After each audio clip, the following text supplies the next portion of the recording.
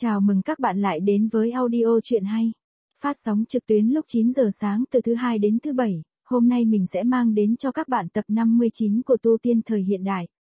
Các bạn hãy cho tim mình một xúc cà di bê nhé.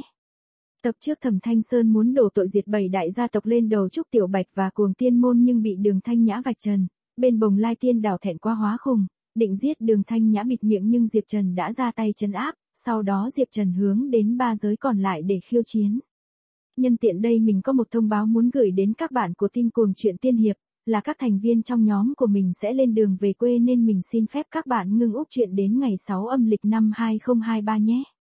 Xin lỗi các bạn vì sự bất tiện này, ta vào tập hôm nay nhé. Lần này hắn chắc chắn phải chết không thể nghi ngờ a. Hầu như không có người nào tin tưởng ở dưới công kích hợp kích của tam đại cường giả hóa thần và hơn 100 tên cường giả nguyên anh mà còn có người có thể sống sót. Tất cả mọi người thi nhau lắc đầu thở dài, nhưng mà đúng vào lúc này, một giọng nói lạnh lùng, đột nhiên từ bên trong đoàn hào quang óng ánh kia vang lên. Các ngươi cũng chỉ có chút năng lực ấy thôi sao? Oanh, mọi người nghe được giọng nói này thì tất cả ngay lập tức giật nảy cả mình, thi nhau nhanh chóng nhìn vào trong chiến trường, trong nháy mắt toàn bộ nghẹn họng nhìn chân chối, chỉ thấy, ở bên trong vòng vây của tam đại thế lực, đạo thân ảnh gầy yếu cao mà thằng kia vẫn như cũ đứng sừng sững ở chỗ đó, thậm chí còn không thấy có chút cong nào, giống như một kích tuyệt mệnh của tam đại cường giả hóa thần và hơn 100 tên cường giả nguyên anh trước đó đối với hắn không tạo thành bất kỳ ảnh hưởng gì. Cái gì? Hắn thế mà, không chết, chặn được, điều này sao có thể? Không chỉ mọi người ở ven bờ Đông Hải thi nhau kinh hô lên, ngay cả hơn trăm tên cường giả của tam đại thế lực, tất cả cũng đều trợn mắt há hốc mồm. Nhất là ba người ma tổ, thần vương và cửu thủ yêu hoàng,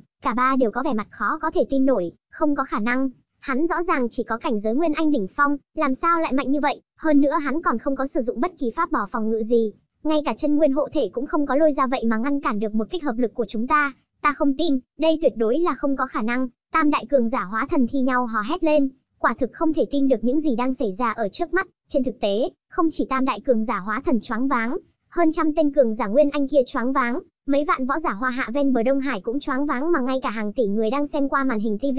điện thoại thông minh, tất cả cũng đều choáng váng. Cường độ của một kích kia gần như có thể so với quả bom nguyên tử cỡ lớn. Cũng may là ở trên biển phía đông chứ nếu như mà ở trong cảnh nội hoa hạ thì chỉ sợ một cái thành phố cũng phải hóa thành phấn vụn. Bây giờ một kích cường độ nghịch thiên thế mà cũng không làm tổn thương được Diệp Trần một chút nào. Cái tên này, còn là người sao? Vào thời điểm này, thực lực mà Diệp Trần thể hiện ra khiến cho khắp thế gian đều phải kinh sợ ngạc nhiên. Hắn không có việc gì, hắn không có việc gì, quá tốt rồi, đường thanh nhã kích động đến nỗi hốc mắt đỏ hoe, vui đến phát khóc, Chu Tiểu Bạch mặt cũng đầy biểu cảm vẻ kích động, ta đã biết, Diệp đại ca sẽ không chết dễ dàng như vậy. Dịch Sơn Hà lấy nắm đấm đấm mạnh ở trên bàn tay kia của mình, bên trong mắt hổ hiện ra vẻ hưng phấn nồng đậm, toàn thân run rẩy không ngừng, được, được, vốn trước đó đã nghe Diệp Trần nói hắn có thể trong nháy mắt diệt đi cường giả hóa thần, Dịch Sơn Hà vẫn còn không dám tin chắc, vào ngay hôm nay mới hiểu được, Diệp Trần thật có thực lực như vậy, chẳng mấy chốc, tất cả những người dân của Hoa Hạ cũng đã phản ứng lại, lập tức tất cả đều hoan hô lên, chỉ cần Diệp Trần không chết, vậy Hoa Hạ còn có hy vọng, không cần biết bọn họ trước đó đối với Diệp Trần là chán ghét hay là thích, lúc này vận mệnh của bọn họ đều đã liên quan chặt chẽ với Diệp Trần, trước đó, gần như tất cả mọi người đều muốn từ bỏ, nhưng là biểu hiện của Diệp Trần bây giờ lại làm cho bọn họ thấy được hy vọng một lần nữa, ở trong lòng tất cả mọi người đều tự phát cầu nguyện cho Diệp Trần, mà ngay vào lúc này, Diệp Trần không hiểu vì sao, hắn bỗng nhiên mơ hồ cảm nhận được một cỗ lực lượng khó mà hình dung, cái này chẳng lẽ chính là lực lượng tín ngưỡng? Diệp Trần thầm giật mình trong lòng, hắn thông qua nhân quả pháp tắc, mơ hồ có thể cảm ứng được, toàn bộ Hoa Hạ lúc này có hơn một tỷ khí tức sinh mệnh, tất cả đều thành lập liên hệ nào đó với hắn. Nhớ lại lúc ở bên trong tu chân giới có tồn tại một tông phái đặc thù nào đó, thông qua truyền bá giáo nghĩa, quảng thu tín đồ, thu thập lực lượng tín ngưỡng, từ đó đến để thăng thực lực của mình. Tuy rằng những lực lượng tín ngưỡng này đối với Diệp Trần mà nói cũng không có hiệu quả tăng lên quá lớn, tuy nhiên có chút ít còn hơn không có. Hơn nữa, không biết có phải là hắn bị ảo giác hay không, theo từng đạo lực lượng tín ngưỡng hội tụ đến trên người của hắn mà hắn cảm thấy thể ngộ của chính mình đối với pháp tắc dường như càng thêm thấu triệt. Chẳng lẽ lực lượng tín ngưỡng có thể tăng lên năng lực cảm nhận của ta đối với pháp tắc? Sau khi Diệp Trần phát hiện vấn đề này thì trong lòng lập tức vui mừng như điên. Hắn vốn chỉ dự định, trước khi tiến vào bên trong bí cảnh Côn Luân giúp Hoa Hạ giải trừ nguy cơ, nhưng bây giờ xem ra, dường như còn có thu hoạch ngoài ý muốn. Diệp Cùng Tiên, ngươi đến cùng là dùng thủ đoạn gì? Cho dù ngươi là tồn tại vượt qua hóa thần thì cũng tuyệt đối không có khả năng ngăn cản một kích hợp lực của chúng ta dễ dàng như vậy. Mặt mũi ma tổ đầu vẻ u ám, nhịn không được mà giống lớn lần nữa, quả thực cũng bắt đầu nghi ngờ vào cuộc sống. 12 năm trước, hắn chết dưới tay của Diệp Trần. Về sau chẳng những khởi tử hồi sinh, càng là một lần hành động bước vào cảnh giới hóa thần, vốn cho rằng cuối cùng có cơ hội tìm được Diệp Trần để báo thù, lại tuyệt đối không ngờ rằng, thực lực của đối phương vậy mà cường đại đến tình trạng như thế. Hai tay Diệp Trần chắp ở sau lưng, nở ra nụ cười thản nhiên, "Thế nào, có cần xin chữ ký không?" Ma tổ ngẩn người ra, sau đó thì vẻ mặt trở nên lạnh lùng, nhàn nhạt liếc qua ma tổ, ta nói rồi, 12 năm trước ta có thể giết các ngươi thì 12 năm sau cũng vẫn như thế mà thôi. Nói xong lời này, Diệp Trần chậm rãi giơ một nắm tay lên, ầm ầm, một đạo đao mang màu xanh nhìn như bình thường đột nhiên xuất hiện ở trong lòng bàn tay của Diệp Trần. So với thanh huyết đao khổng lồ dài hơn vạn mét trước đó, mà các cường giả của huyết ma điện thi triển ra thì quả thực không đáng nhắc tới. Tuy nhiên, tam đại cường giả hóa thần, ma tổ, thần vương và cửu thủ yêu hoàng thì vẻ mặt của cả ba thay đổi lớn. Khí tức này, chẳng lẽ hắn cũng nắm giữ loại lực lượng đó? Ma tổ nghẹn ngào giống lớn một tiếng, mặt mũi đầy vẻ kinh ngạc, hủy diện. Diệp Trần quát khẽ một tiếng, trong nháy mắt đao mang màu xám trực tiếp hướng phương hướng các cường giả của huyết ma điện, thuận tay vung lên, ông, nhìn qua, giống như chỉ là một kích rất bình thường, chỉ sợ ngay cả cao thủ cảnh giới kim đan bình thường cũng không bằng. Tuy nhiên, sau khi ma tổ nhìn thấy Diệp Trần xuất thủ, trong hai con ngươi lại hiện ra vẻ vô cùng chấn kinh, gần như không có một chút do dự nào mà nhanh chóng lùi lại phía sau, ngay sau đó, ở trong ánh mắt khiếp sợ không gì sánh nổi của tất cả mọi người, bành, bành, bành, một đám cường giả nguyên anh của huyết ma điện, vậy mà không bất luận một chút dấu hiệu báo trước nào, từng tên đều lần lượt vỡ tan ra, duy chỉ có ma tổ ở ngay lúc đầu tiên lui ra bên ngoài mấy chục dặm mới có thể thoát khỏi kích này. Tuy nhiên, chỉ thấy tay trái của Diệp Trần bỗng nhiên duỗi ra, diêu không một chảo, trở về, ầm ầm, ngay sau đó,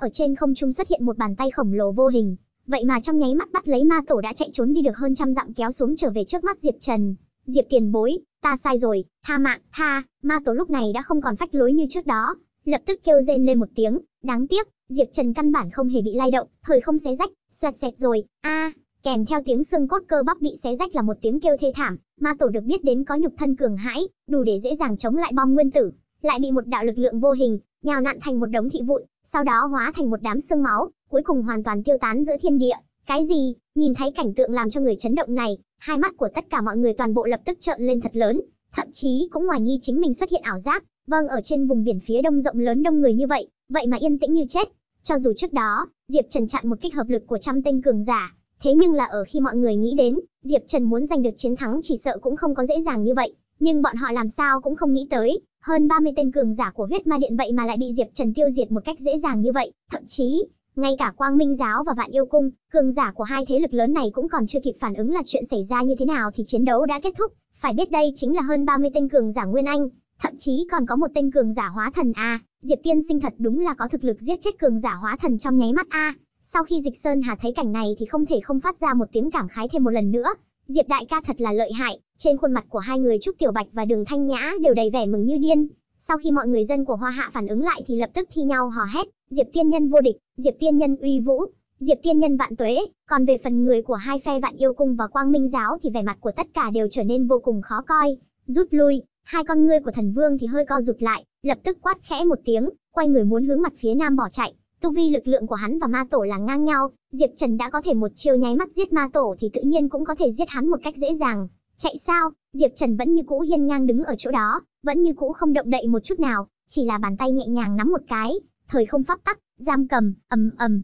thời không trong phạm vi mấy trăm dặm, trong nháy mắt bị một đạo lực lượng pháp tắc vô hình bao phủ. Mặc cho cường giả của Quang Minh giáo và Vạn Yêu cung muốn liều mạng chạy trốn thế nhưng là thời gian và không gian ở xung quanh giống như rối loạn, vô luận bọn họ liều mạng cỡ nào thì vẫn luôn đảo quanh nguyên tại chỗ, thật giống như Tôn Ngộ không vĩnh viễn không cách nào bay ra khỏi lòng bàn tay của Phật tổ Như Lai, tại sao có thể như vậy? Chẳng lẽ hắn là thần linh hay sao? Đã trốn không thoát vậy thì liều mạng với hắn. Một số cường giả nhìn thấy không cách nào có thể thoát khỏi, dứt khoát cắn răng một cái quay ngược lại phóng tới Diệp Trần. Tự phá Nguyên Anh liều mình một kích, oanh, oanh, oanh, từng cường giả thiêu đốt Nguyên Anh, hai mắt đỏ ngầu, giống như con thiêu thân lao đầu vào lửa, hướng Diệp Trần đánh tới. Tuy nhiên, không đợi bọn họ tới gần trước mặt Diệp Trần thì bị một cỗ lực lượng pháp tắc vô hình trong nháy mắt rào sát, nghiền thành vụn thịt cuối cùng hóa thành bột mịn, hình thần câu diện, bành bành bành, trong nháy mắt những cường giả Nguyên Anh còn lại kia, cũng gần như đã bị Diệp Trần chu sát toàn bộ. Diệp Tiền Bối, có chuyện dễ thương lượng, chỉ cần ngươi tha cho chúng ta lần này, sau này Vạn Yêu cung chúng ta sẽ nghe theo Tiền Bối như thiên lôi sai đâu đánh đó, có được không? Cửu thủ yêu hoàng nhìn thấy đám thủ hạ của chính mình thiêu đốt Nguyên Anh cũng không thể gây ra một chút thương tích nào cho Diệp Trần thì lập tức bị dọa cho sợ, bắt đầu khúm núm chủ động cầu hòa. Đáng tiếc, Diệp Trần căn bản không hề bị lay động, đáp lại hắn lại là một trưởng vô tình, dám can đảm xúc phạm hoa hạ ta, nên giác ngộ phải chết. Giọng nói rơi xuống, đường đường là chủ nhân của vạn yêu cung, cường giả cảnh giới hóa thần hàng thật giá thật, bị một bàn tay của Diệp Trần rõ ràng đánh nổ. Ngay cả tiếng kêu thảm cũng không kịp phát ra thì đã hình thần câu diện, vạn yêu cung toàn quân bị diệt, Diệp Trần ngược lại thẳng hướng quang minh giáo. Các cường giả quang minh giáo lập tức tất cả kêu lên, hoặc là câu xin tha thứ hoặc là mắng to, nhưng căn bản không cách nào ngăn cản được sát ý của Diệp Trần. Bành bành bành, Chỉ chốc lát, người mấy tên cường giả cảnh giới nguyên anh của Quang Minh giáo cũng đều chết ở trong tay của Diệp Trần, Diệp Cùng Tiên, ngươi giết chúng ta, đế tôn đại nhân tuyệt đối sẽ không bỏ qua cho ngươi. Thần Vương đã hoàn toàn tuyệt vọng, dứt khoát cũng không còn cầu xin tha thứ, mặt mũi đầy hận ý nhìn về phía Diệp Trần giống to. Diệp Trần cười lạnh, thật sao? Ta chờ hắn tới tìm ta. Giọng nói rơi xuống lại là một trưởng, bành. Nhục thân của thần vương nổ tung lên, tính cả thần hôn cũng bị lực lượng pháp tắc rõ ràng cho xoắn nát. Đến tận đây, ba tên cường giả hóa thần và hơn 100 tên cường giả nguyên anh,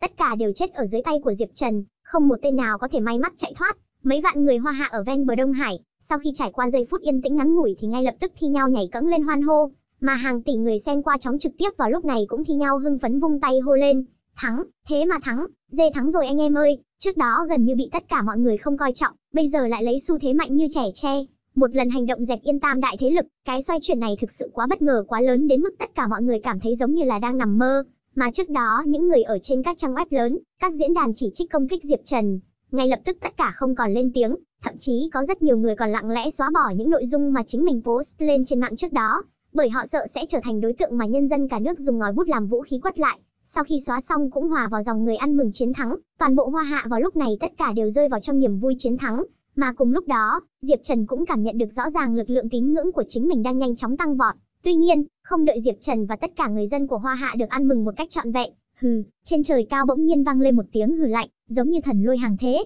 cuồn cuộn mà đến, thậm chí ngay cả thiên địa cũng đổi màu, trên mặt biển cũng đột nhiên nhấc lên một trận sóng thần to lớn. Ngay sau đó, rất nhiều võ giả Hoa Hạ ở ven bờ biển phía đông Hoa Hạ, cùng với tất cả những người đang xem trên sóng trực tiếp thấy được cảnh tượng mà cả đời khó quên. Chỉ thấy, ở trên bầu trời phía xa, sau khi bây giờ nhanh chóng biến đổi vậy mà ngưng tụ ra một cái mặt người khổng lồ. Sau khi gương mặt khổng lồ này xuất hiện thì gần như che đậy toàn bộ trời xanh, toàn bộ ven bờ biển phía đông trong phạm vi mấy trăm dặm đều lập tức mở đi, mà tiếng hừ lạnh trước đó giống như lôi âm dường như cũng chính từ cái gương mặt khổng lồ này phát ra. Trời ạ, ta không phải xuất hiện ảo giác rồi chứ, cái này là con quái vật gì, thật đáng sợ. Chẳng những tất cả mọi người đều thay đổi sắc mặt mà ngay cả Diệp Trần, đứng mũi chịu sào nhìn qua gương mặt khổng lồ xuất hiện ở trên trời cao kia cũng không thể không nhướng mày. Trên mặt hiện ra vẻ ngưng trọng, gương mặt khổng lồ này hiển nhiên là một loại thủ đoạn đại thần thông nào đó mà không phải bản thể chân chính, mà để có thể thi triển ra được loại thủ đoạn đại thần thông, như thế thì căn cứ theo phán đoán của Diệp Trần thì chỉ sợ ít nhất cũng phải là cường giả hợp đạo tiên quân, ít nhất thì hiện tại Diệp Trần còn không có cách nào thi triển ra,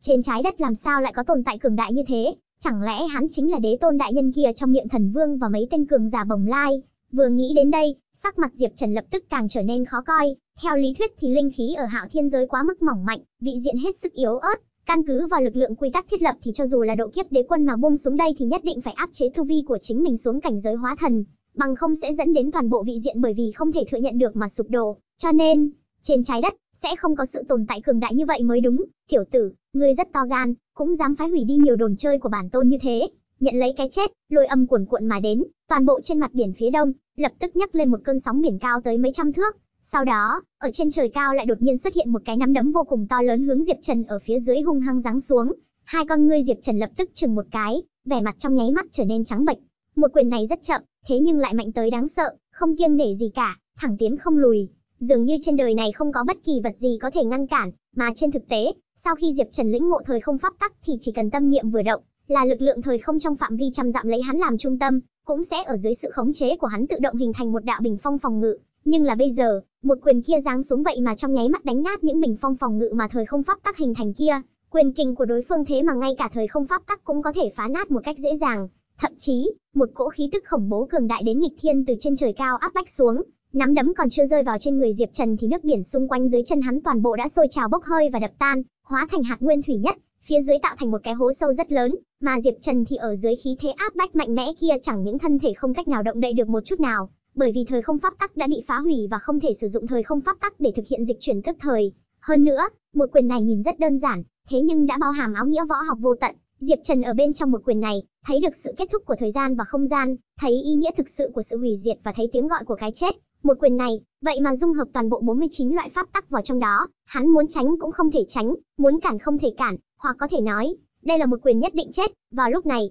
hắn chợt phát hiện chính mình lĩnh hội đối với 49 loại pháp tắc thật sự là quá nông cạn. Nếu như hắn có thể thoát ra khỏi một quyền này, đối với việc hắn lĩnh ngộ lực lượng pháp tắc sẽ có lợi ích to lớn, ít nhất có thể tăng lên một cái bậc thang lớn. Đáng tiếc, hắn dường như cũng không có cơ hội như vậy. Diệp Trần không hoài nghi chút nào, đối phương có thực lực một quyền thậm chí có thể đánh bại toàn bộ trái đất, chỉ có điều, đối phương dường như cố kỵ cái gì cho nên mới có chỗ bảo lưu thôi. Dù vậy, sau khi một quyền này hạ xuống, chẳng những hắn chắc chắn phải chết không thể nghi ngờ, chỉ sợ sinh linh trên cả trái đất ít nhất cũng bị hủy diệt đi hơn một nửa trở lên. Xong, Diệp Trần nghĩ tới cái tên gia hỏa gọi là đế tôn, kia sẽ ra tay, thế nhưng lại tuyệt đối không ngờ rằng, thực lực của người này thế mà đã cường đại đến tình trạng như thế, quá mạnh, thậm chí là ở thời điểm đỉnh phong ở kiếp trước của hắn, Diệp Trần cũng không có nắm chắc có thể đối phó được người này. Cái tên này rốt cuộc là ai? Ầm ầm, ngay vào lúc Diệp Trần cho rằng chắc chắn phải chết không thể nghi ngờ, đã hoàn toàn từ bỏ chống cự, một cảnh tượng quỷ dị xuất hiện, trên đỉnh đầu Diệp Trần vậy mà xuất hiện một bàn tay khổng lồ, vừa vặn chặn một quyền từ trên trời cao rơi xuống kia. Cái này, Diệp Trần lập tức choáng váng, hoàn toàn không nghĩ tới ở giây phút cuối cùng vậy mà lại xuất hiện một tên cường giả bí ẩn, thay hắn đỡ được một kích tuyệt mệnh này. Ầm ầm, bàn tay khổng lồ và nắm đấm khổng lồ hung hăng va chạm vào nhau, từ hình thái nhìn lại, sau khi xuất hiện bàn tay khổng lồ kia thì dường như phải nhỏ hơn rất nhiều, thế nhưng lại vô cùng kiên định, vững vàng đỡ được một quyền kia. Ngược lại là nắm đấm khổng lồ kia hung hăng lắc lư một lúc, tính cả gương mặt khổng lồ trên trời cao kia đều rõ ràng ngay lập tức ảm đạm đi rất nhiều. Ồ, sau khi gương mặt khổng lồ kia bị đánh lui, lập tức phát ra một tiếng kinh hô, hiển nhiên đối với chuyện đột nhiên xảy ra này có chút ra ngoài ý định. Ngươi vậy mà đạt được thiên ý của Hạo Thiên giới che chở, không thể tưởng tượng được a, không thể tưởng tượng được. Gương mặt khổng lồ kia thở dài một lúc, dường như đối với bàn tay khổng lồ xuất hiện sau có chút kiêng kỵ, cũng không tiếp tục công kích đối với Diệp Trần. Cuối cùng chậm rãi tiêu tán thành vô hình, mà bàn tay khổng lồ cứu Diệp Trần kia cũng đi theo hư không mà tiêu thất không thấy, phảng phất như thể vừa rồi chưa có chuyện gì xảy ra, nguy hiểm thật, Diệp Trần ngầm nói một tiếng may mắn, sau đó đột nhiên hướng về phía không trung chắp tay nói, đa tạ ân cứu mạng của tiền bối, có thể hiện thân gặp mặt được hay không, cũng tốt để vãn bối ở trước mặt tạ ơn. Tuy nhiên, trên không trung thật lâu không có câu trả lời, chủ nhân của bàn tay khổng lồ kia dường như sớm đã rời khỏi. Diệp Trần lập tức thất vọng một trận, đành phải lắc đầu, sau đó thì hướng bên bờ biển chậm rãi đi tới. Bàn tay khổng lồ kia giao thủ với nắm đấm khổng lồ, thật ra chỉ là chuyện trong nháy mắt, hơn nữa lúc giao thủ, thời không pháp tắc ở xung quanh cũng bị phá hủy, cho nên mọi người ở ven bờ biển phía đông chỉ thấy không trung xuất hiện một gương mặt khổng lồ, ngay sau đó thì biến mất không thấy, tuy rằng tất cả mọi người không rõ là chuyện gì xảy ra, thế nhưng nhìn thấy Diệp Trần trở về bình yên vô sự thì lập tức lại thi nhau cao giọng hoan hô lên, chỉ cần Diệp Trần còn sống, đó chính là thắng, Diệp tiên nhân vô địch, hoa hạ vô địch. Sau khi Diệp Trần trở lại Vân Châu, Diệp Trần lập tức tiến vào bên trong trạng thái bế quan, trải qua một trận chiến trước đó, hắn trở về từ cõi chết, đối với lý giải về 49 loại pháp tắc cũng có nhận biết hoàn toàn mới, nhất định phải lập tức bế quan tiến hành đột phá, không thể chậm một giây, chớp mắt một cái, 7-8 ngày đi qua, ở bên trong 7-8 ngày này, chuyện một mình Diệp Trần càn quét tam đại thế lực giống như một cơn lốc chuyển khắp mọi nơi trên toàn thế giới, mà để cho Diệp Trần tuyệt đối không ngờ rằng chính là Bây giờ chẳng những tất cả người dân của Hoa Hạ đều coi hắn là anh hùng mà ngay cả các quốc gia và địa khu trước đó bị tam đại thế lực thống trị. Người dân ở đó khi biết được tin tức tam đại thế lực bị Diệp Trần tiêu diệt hoàn toàn thì tất cả đều hưng phấn hát vang reo hò. Hơn nữa, sau khi Vi, Diệp Trần giao thủ với tam đại thế lực đưa cọ truyền khắp tới các nơi trên thế giới thì chẳng những uy vọng của Diệp Trần lập tức nhảy lên tới điểm cao nhất, được vô số người quỳ bái mà ngay cả uy vọng của Hoa Hạ quốc cũng đi theo nước lên thì thuyền lên, mơ hồ đã trở thành cường quốc đệ nhất toàn cầu. Sau khi cao tầng của các đại quốc trải qua một phen thảo luận kịch liệt, cuối cùng đạt thành một cái nhận thức chung, chỉ cần Diệp Cuồng Tiên còn ở một ngày thì tuyệt đối không được khiêu khích Hoa Hạ, cái tên Diệp Trần này, đến cùng làm gì ở bên trong đó chứ? Tại sao vẫn chưa ra? Đến cùng thì anh ta có đi tới bí cảnh Côn Luân giúp đỡ gì làm bọn họ không? Đường Thanh Nhã đi tới đi lui ở bên ngoài biệt thự, trên gương mặt xinh đẹp đều hiện lên vẻ lo lắng, từ sau khi Diệp Trần trở về thì cứ một mực bế quan, hơn nữa ở xung quanh còn bố trí dày đặc cấm chế, Đường Thanh Nhã thấy Diệp Trần vẫn cứ mãi không đi ra thì tự nhiên rất sốt ruột. Nếu như so sánh thì Trúc Tiểu Bạch ở một bên thì lại có vẻ rất bình tĩnh, Thanh Nhã tỷ, tỷ cứ yên tâm là được, ta có nhớ Diệp đại ca nói qua, hắn có thể cảm ứng được gì Lam, đại ca và mấy người bọn họ không có nguy hiểm gì đến tính mạng. Hơn nữa bây giờ cường giả tứ đại giới đều đã bị Diệp đại ca tiêu diệt toàn bộ, tỷ còn lo lắng cái gì? Đường Thanh Nhã nghe vậy, vẻ mặt lúc này mới hòa hoãn hơn rất nhiều, gật đầu nói, như thế, tuy nhiên cái tên này từ sau khi trở về, vẫn tự ra mình ở trong biệt thự, sẽ không phải là trước đó bị thương chứ? Đường Thanh Nhã nói đến đây, trên gương mặt tuyệt mỹ lập tức lại hiện ra vẻ lo lắng một lần nữa. Trúc Tiểu Bạch thấy thế thì lập tức cười nói, Thanh Nhã tỷ, tỷ suy nghĩ nhiều quá, Diệp đại ca làm sao có thể bị thương dễ dàng như vậy? Ta thấy là tỷ quan tâm quá sẽ bị loạn a. Gương mặt xinh đẹp của Đường Thanh Nhã lập tức hơi đỏ lên, hiện ra vẻ tức giận, nói, Phi, ai quan tâm tới hắn, ta là sự hắn xảy ra chuyện gì thì không có người đi cứu gì Lam bọn họ à Hai người bên này đang trò chuyện thì, ầm ầm, trong biệt thự bỗng nhiên truyền đến một tiếng nổ vang ầm ầm, sau đó thì ở trên trời cao xuất hiện một cái nắm đấm khổng lồ. Cùng cảnh tượng trước đó xảy ra ở trên vùng biển phía đông rất giống nhau, Đường Thanh Nhã và Trúc Tiểu Bạch thấy thế thì cả hai lập tức thay đổi sắc mặt. Mà vào lúc này, ở bên trong biệt thự, Diệp Trần chậm rãi thu hồi nắm đấm, cho mày lại. Trải qua 7-8 ngày nghiên cứu, hắn đối với việc lĩnh ngộ 49 loại lực lượng pháp tắc đã đạt đến một cái cấp độ hoàn toàn mới. Một quyền vừa rồi, hắn hoàn toàn là đang bắt trước ở trên biển trước đó. một nắm đấm khổng lồ kia công kích hắn, tuy rằng đã mơ hồ có mấy phần ý vị tương tự, nhưng uy lực vẫn là kém xa tít tắp, không nghĩ tới bên trong hạo thiên giới nho nhỏ này lại còn có sự tồn tại cường đại như thế. Bất luận là cái nắm đấm khổng lồ công kích hắn kia hay là sau đó bàn tay khổng lồ thay hắn ngăn lại một kích tuyệt mệnh đều cường đại không thể tưởng tượng nổi. Sau khi Diệp Trần đối với lực lượng pháp tắc có lĩnh ngộ càng sâu thì mỗi lần nghĩ đến một quyền và một trưởng kia, vẫn là càng ngày càng cảm thấy trong đó ảo diệu vô cùng, gần như đã đến gần với thiên đạo vô tận, cho dù ở lúc chính mình thời điểm đỉnh phong nhất ở kiếp trước cũng xa xa không có đạt tới loại cảnh giới đó. Ngay vào lúc Diệp Trần đang âm thầm cảm khái, ông, không gian xung quanh bỗng nhiên rung chuyển một lúc, người nào? Diệp Trần đột nhiên đứng dậy, trên mặt hiện ra vẻ kinh hãi, chỉ thấy, ở trong ánh mắt của hắn ta, nơi hư không đó dập dờn một trận, xuất hiện một cái vòng xoáy thần bí, sau đó thì một ông lão mặc đạo bào từ bên trong vòng xoáy chậm rãi đi ra. Trước khi hắn bế quan, ở xung quanh thiết hạ cấm chế dày đặc, cho dù là hóa thần thiên quân cũng tuyệt đối không có khả năng đi vào. Nhưng là bây giờ, dưới tình huống đó lại có người hoàn toàn không chạm vào những cấm chế xung quanh đàng hoàng đi tới. Điều này làm sao không làm cho hắn kinh sợ. Người là người phương nào? Hai mắt Diệp Trần gắt gao nhìn chằm chằm vào ông lão mặc đạo bào đột nhiên xuất hiện ở trước mắt. Bên trong đôi mặt hiện ra vẻ cảnh giác nồng đậm, đã làm chuẩn bị lúc nào cũng có thể động thủ. Tuy nhiên, ông lão mặc đạo bào kia lại một mặt ôn hòa, mỉm cười nói, người trẻ tuổi, không cần khẩn trương, ta chính là thủ hộ giả của hạo thiên giới. Tên vô danh, Diệp Trần lập tức sững sờ, ngươi chính là vô danh đạo nhân, người chỉ điểm đệ tử cuồng tiên môn tiến vào bên trong bí cảnh côn luân. Ông lão mặc đạo bào nhẹ gật đầu, nói, người trẻ tuổi, thật ra thì từ lúc ngươi lần đầu tiên bước vào thông thiên lộ, lão phu cũng đã bắt đầu để ý tới ngươi, sau khi lần thứ hai ngươi bước vào thông thiên lộ tiến vào tu chân giới, bây giờ thế mà lại trở về hạo thiên giới một lần nữa, nói rõ ngươi đã trở thành người thừa kế của hại thiên đại đế, Ta nói đúng không? Diệp Trần nghe được lời này của ông lão mặc đạo bào thì lập tức quá sợ hãi. Lần đầu tiên hắn bước vào thông thiên lộ trong thiên mộ, là ở lúc hắn trở lại trái đất không lâu sau đó chuyện đã ở mười mấy năm trước. Không nghĩ tới từ khi đó, đối phương đã lưu ý chính mình, mà chính mình vậy mà không phát giác chút nào. Bây giờ, thế mà lại tới đây lặng yên không tiếng động, thực lực của đối phương đến cùng là khủng bố đến mức nào. Diệp Trần không dám tưởng tượng, ít nhất, nếu như đạo nhân ngày muốn gây bất lợi cho hắn, hắn chỉ sợ căn bản không có lực để phản kháng. Tuy nhiên từ động tác của đối phương đến xem thì hiển nhiên không có địch ý đối với hắn, vừa nghĩ đến đây, Diệp Trần nhẹ gật đầu, nói, không sai, ta đã đạt được sự tán thành của Hạo Thiên Đại Đế, trở về Hạo Thiên giới lần này chính là vì luyện hóa thế giới chi tâm trở thành chủ của Hạo Thiên giới. Ông lão mặc đạo bào nghe vậy thì trên mặt lập tức hiện ra vẻ vui mừng, quả là thế, khó trách hôm đó, lúc Hỗn Nguyên Đại Đế công kích ngươi, ngươi lại được thiên ý của Hạo Thiên giới che chở. Diệp Trần lập tức sững sờ, tiền bối nói là nói cái người khổng lồ mà hôm đó công kích ta trên biển, còn có, Tiền bối vừa mới nói là được thiên ý che chở thì lại là có ý tứ gì? Diệp Trần đã là lần thứ hai nghe được cái từ này, trước đó bàn tay khổng lồ thay mình đỡ được một kích tuyệt mệnh, người khổng lồ kia đã từng nói ra một câu giống như vậy, Diệp Trần vẫn luôn không hiểu, vô danh đạo nhân chậm rãi nói, nếu như ngươi đã trở thành người thừa kế của Hạo Thiên Đại Đế, vậy thì chắc là hiểu rõ, Hạo Thiên giới bây giờ chính là một cái thế giới vô chủ. Diệp Trần gật một cái, tỏ ra hiểu rõ, vô danh đạo nhân lại nói, tuy rằng thế giới này vô chủ thế nhưng còn có bản năng ý thức của chính mình, nên gọi là thiên ý, giống với những tu chân giả kia ở lúc đột phá đại cảnh giới, hoặc là lúc độ kiếp, sẽ gặp phải lôi kiếp công kích, cái này thật ra thì chính là trực phát của thiên ý thế giới, bởi vì tu chân giả là nghịch thiên mà đi, dựa vào cướp đoạt năng lượng của thế giới đến làm bản thân mạnh lên, cho nên tự nhiên sẽ bị thiên ý ở thế giới này bài xích. Còn về ngươi, như là đã đạt được sự tán thành của Hạo Thiên Đại Đế, cũng tương đương đạt được sự tá thành của Thiên Ý Hạo Thiên giới, cho nên lúc ngươi bị Hỗn Nguyên Đại Đế công kích mới có thể xuất thủ che chở ngươi. Nói đến đây, Vô Danh đạo nhân dừng lại một chút, lại nói nói tiếp, ngươi phải biết, hỗn nguyên đại đế kia, chính là sự tồn tại vĩ đại còn cổ xưa hơn cả hạo thiên đại đế. Nếu như không phải thiên ý của hạo thiên giới che chở thì chỉ sợ ngươi đã sớm chết ngàn vạn lần.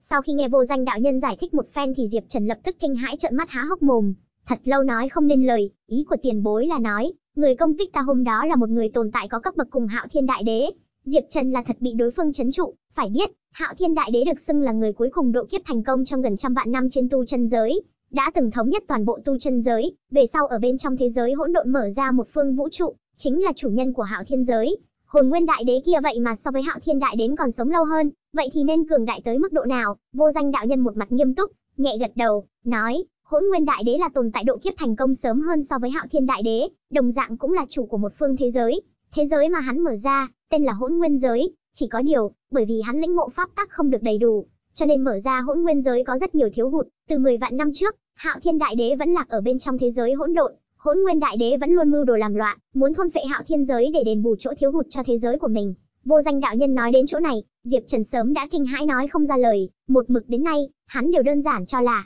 thế giới con hay thế giới phụ của tu chân giới chỉ có một cái là Hạo Thiên giới, nhưng bây giờ xem ra, hiển nhiên cũng không phải là như thế. Ngoài Hạo Thiên giới ra lại còn có một cái Hỗn Nguyên giới, hơn nữa chủ nhân Hỗn Nguyên giới thế mà còn muốn chiếm đoạt Hạo Thiên giới. Hắn vốn cho rằng, đạt tới cấp độ như Hạo Thiên Đại Đế, trở thành chủ nhân của một phương thế giới vũ trụ, đó chính là tồn tại vô địch trí cao vô thượng, lại tuyệt đối không ngờ rằng, đạt tới loại tầng thứ này của bọn họ thế mà còn không tránh được lục đục với nhau. Tuy nhiên, nghĩ lại cũng đúng, ở trước Hạo Thiên Đại Đế, tu chân giới đã tồn tại qua vô số kỷ nguyên, mà ở bên trong năm tháng dài đằng đẵng kia, người có thể thành công vượt qua thiên kiếp thì tự nhiên cũng không phải là số ít. Bởi vậy, ngoài Hạo Thiên Phi ấy ra khẳng định còn có không ít thế giới phụ khác đang tồn tại, mà Hạo Thiên giới nói không chừng chỉ là một cái thế giới rất không đáng chú ý trong đó mà thôi. Cho nên ý nói của ngươi là, Hỗn Nguyên Đại Đế kia cũng đang tranh đoạt thế giới chi tâm của Hạo Thiên giới. Vô Danh đạo nhân một mặt bi thống nhẹ gật đầu, sau đó lại lắc đầu, nói, trên thực tế, kẻ trộm muốn chiếm đoạt Hạo Thiên giới cũng không chỉ có một mình Hỗn Nguyên Đại Đế. Diệp Trần lập tức lại trợn mắt há hốc mồm lần nữa,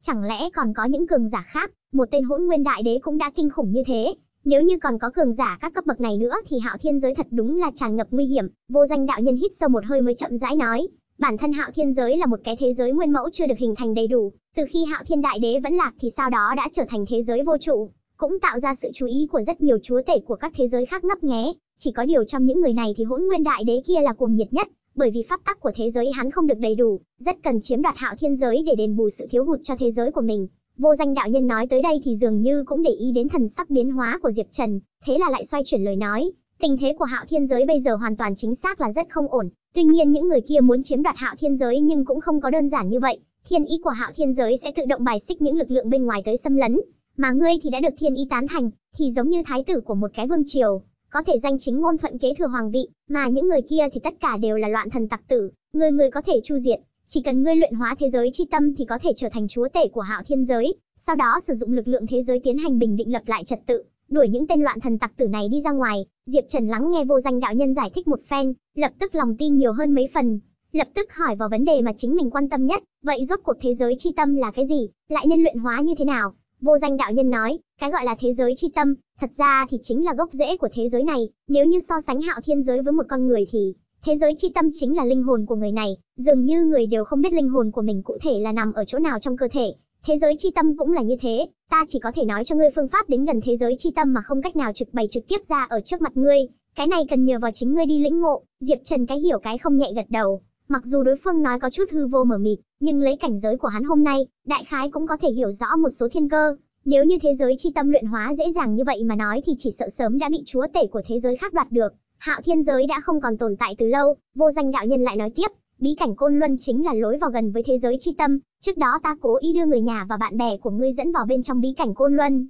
chính là hy vọng ở bên trong bọn họ có người có thể luyện hóa được thế giới chi tâm trở thành chủ nhân mới của hạo thiên giới. Tuy rằng ta biết khả năng này cực kỳ bé nhỏ, gần như căn bản là không thể nào, nhưng vì để đối kháng loại kẻ trộm như hỗn nguyên đại đế, ta cũng chỉ có thể gắng gượng đi nếm thử chút. Cũng may bây giờ ngươi xuất hiện, trên người ngươi có ấn ký của hạo thiên đại đến, lại được thiên ý của hạo thiên giới tán thành. Nếu như ngay cả ngươi cũng không thể luyện hóa được thế giới chi tâm thì chỉ sợ trên đời này cũng sẽ không có người thứ hai. Vô danh đạo nhân nói ra lời này, một mặt vẻ vui mừng, hiển nhiên rất có lòng tin đối với Diệp Trần. Ngay sau đó, vô danh đạo nhân hướng Diệp Trần nói đại khái về tình huống của bí cảnh Côn Luân một lần, người trẻ tuổi, ta có thể cảm ứng được, khí tức của đám người hỗn nguyên đại đế đã xâm nhập vào bí cảnh Côn Luân, bọn họ đã bắt đầu đang tranh đoạt thế giới chi tâm, cho nên toàn sinh tử tồn vong của Hạo Thiên giới, tất cả đều buộc ở trên một mình ngươi, ngươi tốt nhất tự mình đi lo đi. Sau khi vô danh đạo nhân yếu ớt thở dài một lúc, trực tiếp vung tay áo dài lên, trong nháy mắt biến mất ngay tại chỗ không thấy gì nữa. Diệp Trần cũng biết tình thế khẩn cấp, thuận tay thu hồi cấm chế xu ông quanh, chậm rãi đi ra ngoài biệt thự. Hai người Đường Thanh Nhã và Trúc Tiểu Bạch nhìn thấy Diệp Trần đi ra lập tức bước nhanh tiến lên đón, vừa rồi ở bên trong có chuyện gì xảy ra sao? Ta dường như cảm ứng được một cỗ khí tức cường đại, Diệp Trần cũng không có giấu giếm, đại khái nói với hai người tình huống vừa rồi một lần. Ngay lập tức tất cả hai người đều nghe tới choáng váng, dù sao thì cái gì là thế giới chi tâm, thiên ý, chúa tể mọi thứ mà nói với hai người thì thật sự là quá mức xa vời, Diệp Trần cũng biết cảnh giới của hai người quá thấp, cho dù hắn muốn giải thích chỉ sợ cũng không giải thích được rõ ràng, dứt khoát xoay chuyển lời nói, ta vừa mới thông quan nhân quả pháp tắc tiến hành thôi diễn, dì Lam bọn họ dường như ở trong bí cảnh côn luân gặp một số kiếp nạn, chúng ta khẩn trương đi tới đó. Nói xong lời này, Diệp Trần thuận tay vung lên, một đạo lực lượng thời không pháp tắc tự đông bao bọc hai người Đường Thanh Nhã và Trúc Tiểu Bạch vào trong đó. Bạch, ba người cứ như thế mà đột nhiên biến mất. Ngay sau đó, đợi đến khi Đường Thanh Nhã và Trúc Tiểu Bạch mở mắt ra lần nữa thì phát hiện mình đã đi tới chân của một ngọn núi cao. Nhanh như vậy mà đã đến núi Côn Luân rồi sao? Đây chính là lực lượng pháp tắc sao? Quá thần kỳ, hai người tấm tắc lấy làm kỳ lạ, đối với thủ đoạn của Diệp Trần cảm thấy bội phục từ đáy lòng. Diệp Trần chỉ về một cái sơn cốc rất bình thường ở đằng trước, nơi này chắc là lối vào của bí cảnh Côn Luân. Nói xong lời này, Diệp Trần một bước đi đầu, trực tiếp cất bước bước vào trong sơn cốc, hai người Đường Thanh Nhã và Trúc Tiểu Bạch cũng lập tức bước nhanh theo sau. Ông, sau khi ba người bước vào sơn cốc thì thời gian và không gian bỗng nhiên dao động một lúc, ngay sau đó, ba người đã tiến vào bên trong một cái không gian xa lạ. Sơn cốc trước đó không thấy, thay vào đó là một cánh đồng hoang vu bất tận, nơi này chính là bí cảnh Côn Luân sao? Linh khí thật là nồng nặc a. Trúc Tiểu Bạch nhịn không được mà tán thưởng một tiếng, Diệp Trần cười nói, đây chính là nơi gần với thế giới chi tâm nhất, hoặc có thể nói tất cả năng lượng của vũ trụ mà chúng ta đang ở đều bắt nguồn từ nơi này. Đường Thanh Nhã ở một bên bỗng nhiên chỉ vào nơi xa, kinh hô nói, hai người mau nhìn kìa, một ngọn núi thật cao, chỉ sợ so với Everest ở bên ngoài còn phải cao hơn rất nhiều a. Diệp Trần và Trúc Tiểu Bạch theo hướng mà Đường Thanh Nhã chỉ nhìn tới, quả nhiên, ở vị trí trung tâm của mảnh không gian này, có một ngọn núi vô cùng to lớn đứng ở đó, ba người lúc này đang đứng ở ngoài vạn dặm, ngẩng đầu lên cũng không thể nhìn thấy đỉnh của ngọn núi này, có thể tượng tê tượng được ngọn núi này có độ cao khủng bố tới mức nào, đây là Thiên Tâm Phong, căn cứ những gì vô danh đạo nhân nói trước đó, ngọn Thiên Tâm Phong này là sống lưng của toàn bộ vũ trụ, chỉ cần dọc theo Thiên Tâm Phong mà lên tới đỉnh núi thì sẽ tiến vào bên trong một cái không gian kỳ diệu, mà thế giới chi tâm của Hạo Thiên giới thì nghe nói ở bên trong cái không gian kỳ diệu kia, Diệp Trần vừa giải thích với hai người đồng thời thần niệm đã hoàn toàn phóng xuất ra, ngoại trừ ngọn Thiên Tâm Phong nguy nga kia, xung quanh bị từng đạo lực lượng cấm chế vô hình bao trùm, không cách nào dò xét ra. Sau khi Diệp Trần phóng thích ra thần thức cường đại gần như trong nháy mắt đã bao trùm toàn bộ bí cảnh Côn Luân vào bên trong đó. Chẳng mấy chốc, ta đã tìm được khí thức của dì Lam. Đi, thần niệm của Diệp Trần chẳng mấy chốc khóa chặt khí thức của Tô Lam. Ngay lập tức áo dài vung lên, lần nữa cuốn theo đường Thanh Nhã và Trúc Tiểu Bạch, ba người biến mất ngay tại chỗ không thấy đâu nữa. Mà lúc này, ở một chỗ dưới chân núi Thiên Tâm Phong, khặc khặc, nhân loại nhỏ bé a, ta khuyên các ngươi vẫn là ngoan ngoãn nói ra phương pháp tiến vào Thiên Tâm Phong, bằng không thì đừng trách bổn quân không khách khí, nói chuyện là một người to lớn kỳ lạ cao tới 4-5 mét, trên người tất cả đều là vảy giáp, trên đầu còn mọc một cái sừng lớn, hơn nữa ở xung quanh loại người khổng lồ kỳ lạ này còn có hơn 10 người,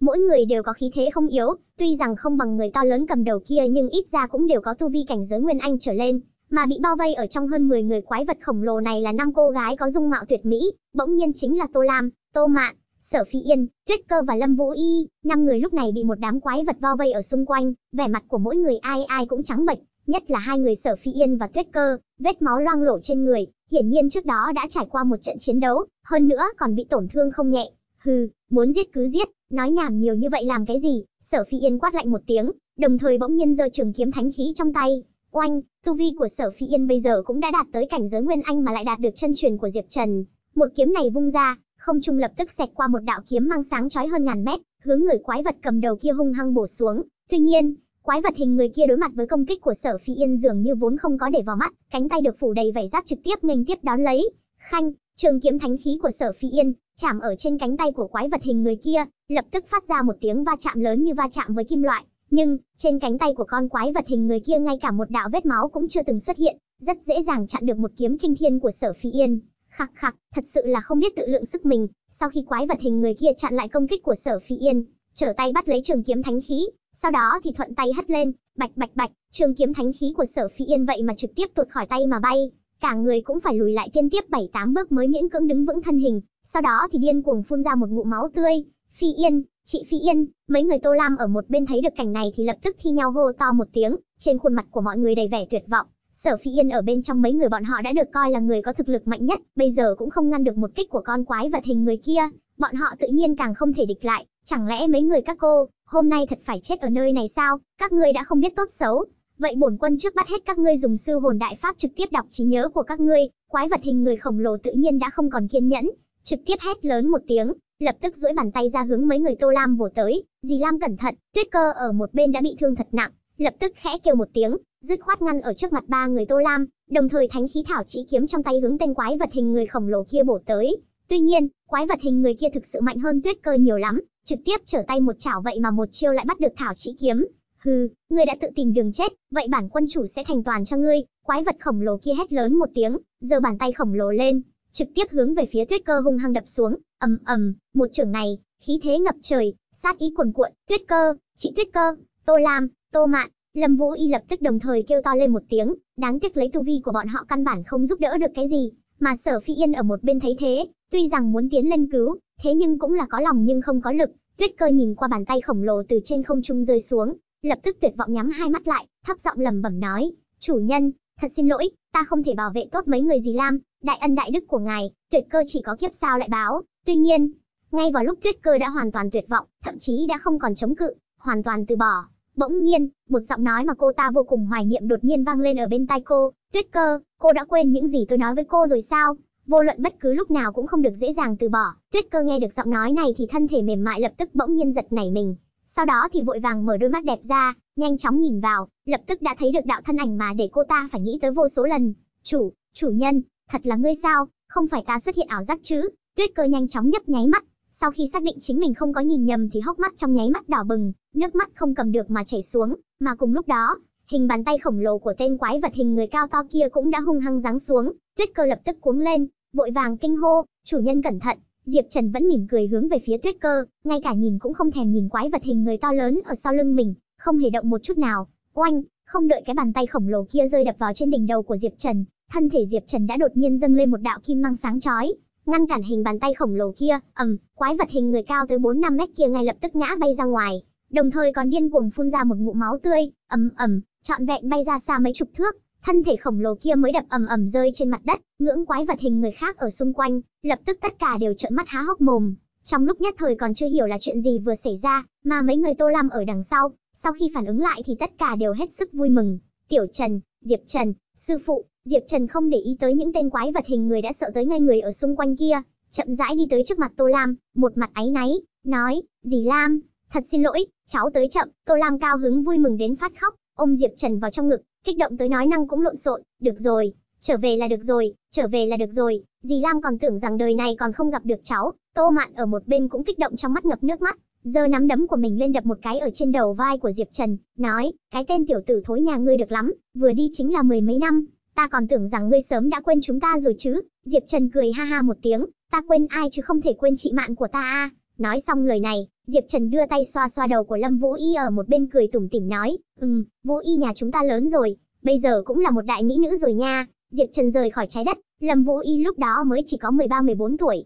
bây giờ 12 năm trôi qua, chẳng những vóc dáng cao lớn hơn rất nhiều, dung mạo cũng càng ngày càng xinh đẹp, Nói là khuynh quốc khuynh thành cũng không hoa chút nào, Lâm Vũ Y sửng sốt một lát, ngay lập tức lao vào trong ngực Diệp Trần, "Sư phụ, thật là sư phụ sao, ta không phải nằm mơ chứ?" Nha đầu ngốc, Diệp Trần khẽ mắng một tiếng, sau đó lại nhìn về phía Sở Phi Yên ở đằng sau. "Phi Yên, những năm tôi không có ở đây, thật vất vả cho cô quá." Sở Phi Yên đầu tiên là hơi run run, sau đó thì trên gương mặt xinh đẹp hiện ra nét xấu hổ, "Diệp Trần, tôi vô dụng, không có năng lực giữ vững cùng tiên môn, thực sự hổ thẹn với anh." Không đợi Sở Phi Yên nói xong, Diệp Trần khoát tay áo, nói, Phi Yên, cô đã làm rất tốt rồi, không cần phải tự trách. Thế nhưng là, Sở Phi Yên vẫn mở miệng, giống, một tiếng gào thét to giống như hung thú thời thượng cổ. Đột nhiên từ đằng xa vang lên, lại là những con quái vật hình người trước đó bị Diệp Trần oánh bay ra ngoài, vào lúc này đã từ dưới đất bò dây, tức giận gào thét, nhân loại đáng ghét, cũng dám ám toàn bổn quân, tất cả lên cho ta, xé xác tên tiểu tử nhân loại này cho ta. Quái vật hình người to lớn kia giống lớn một tiếng,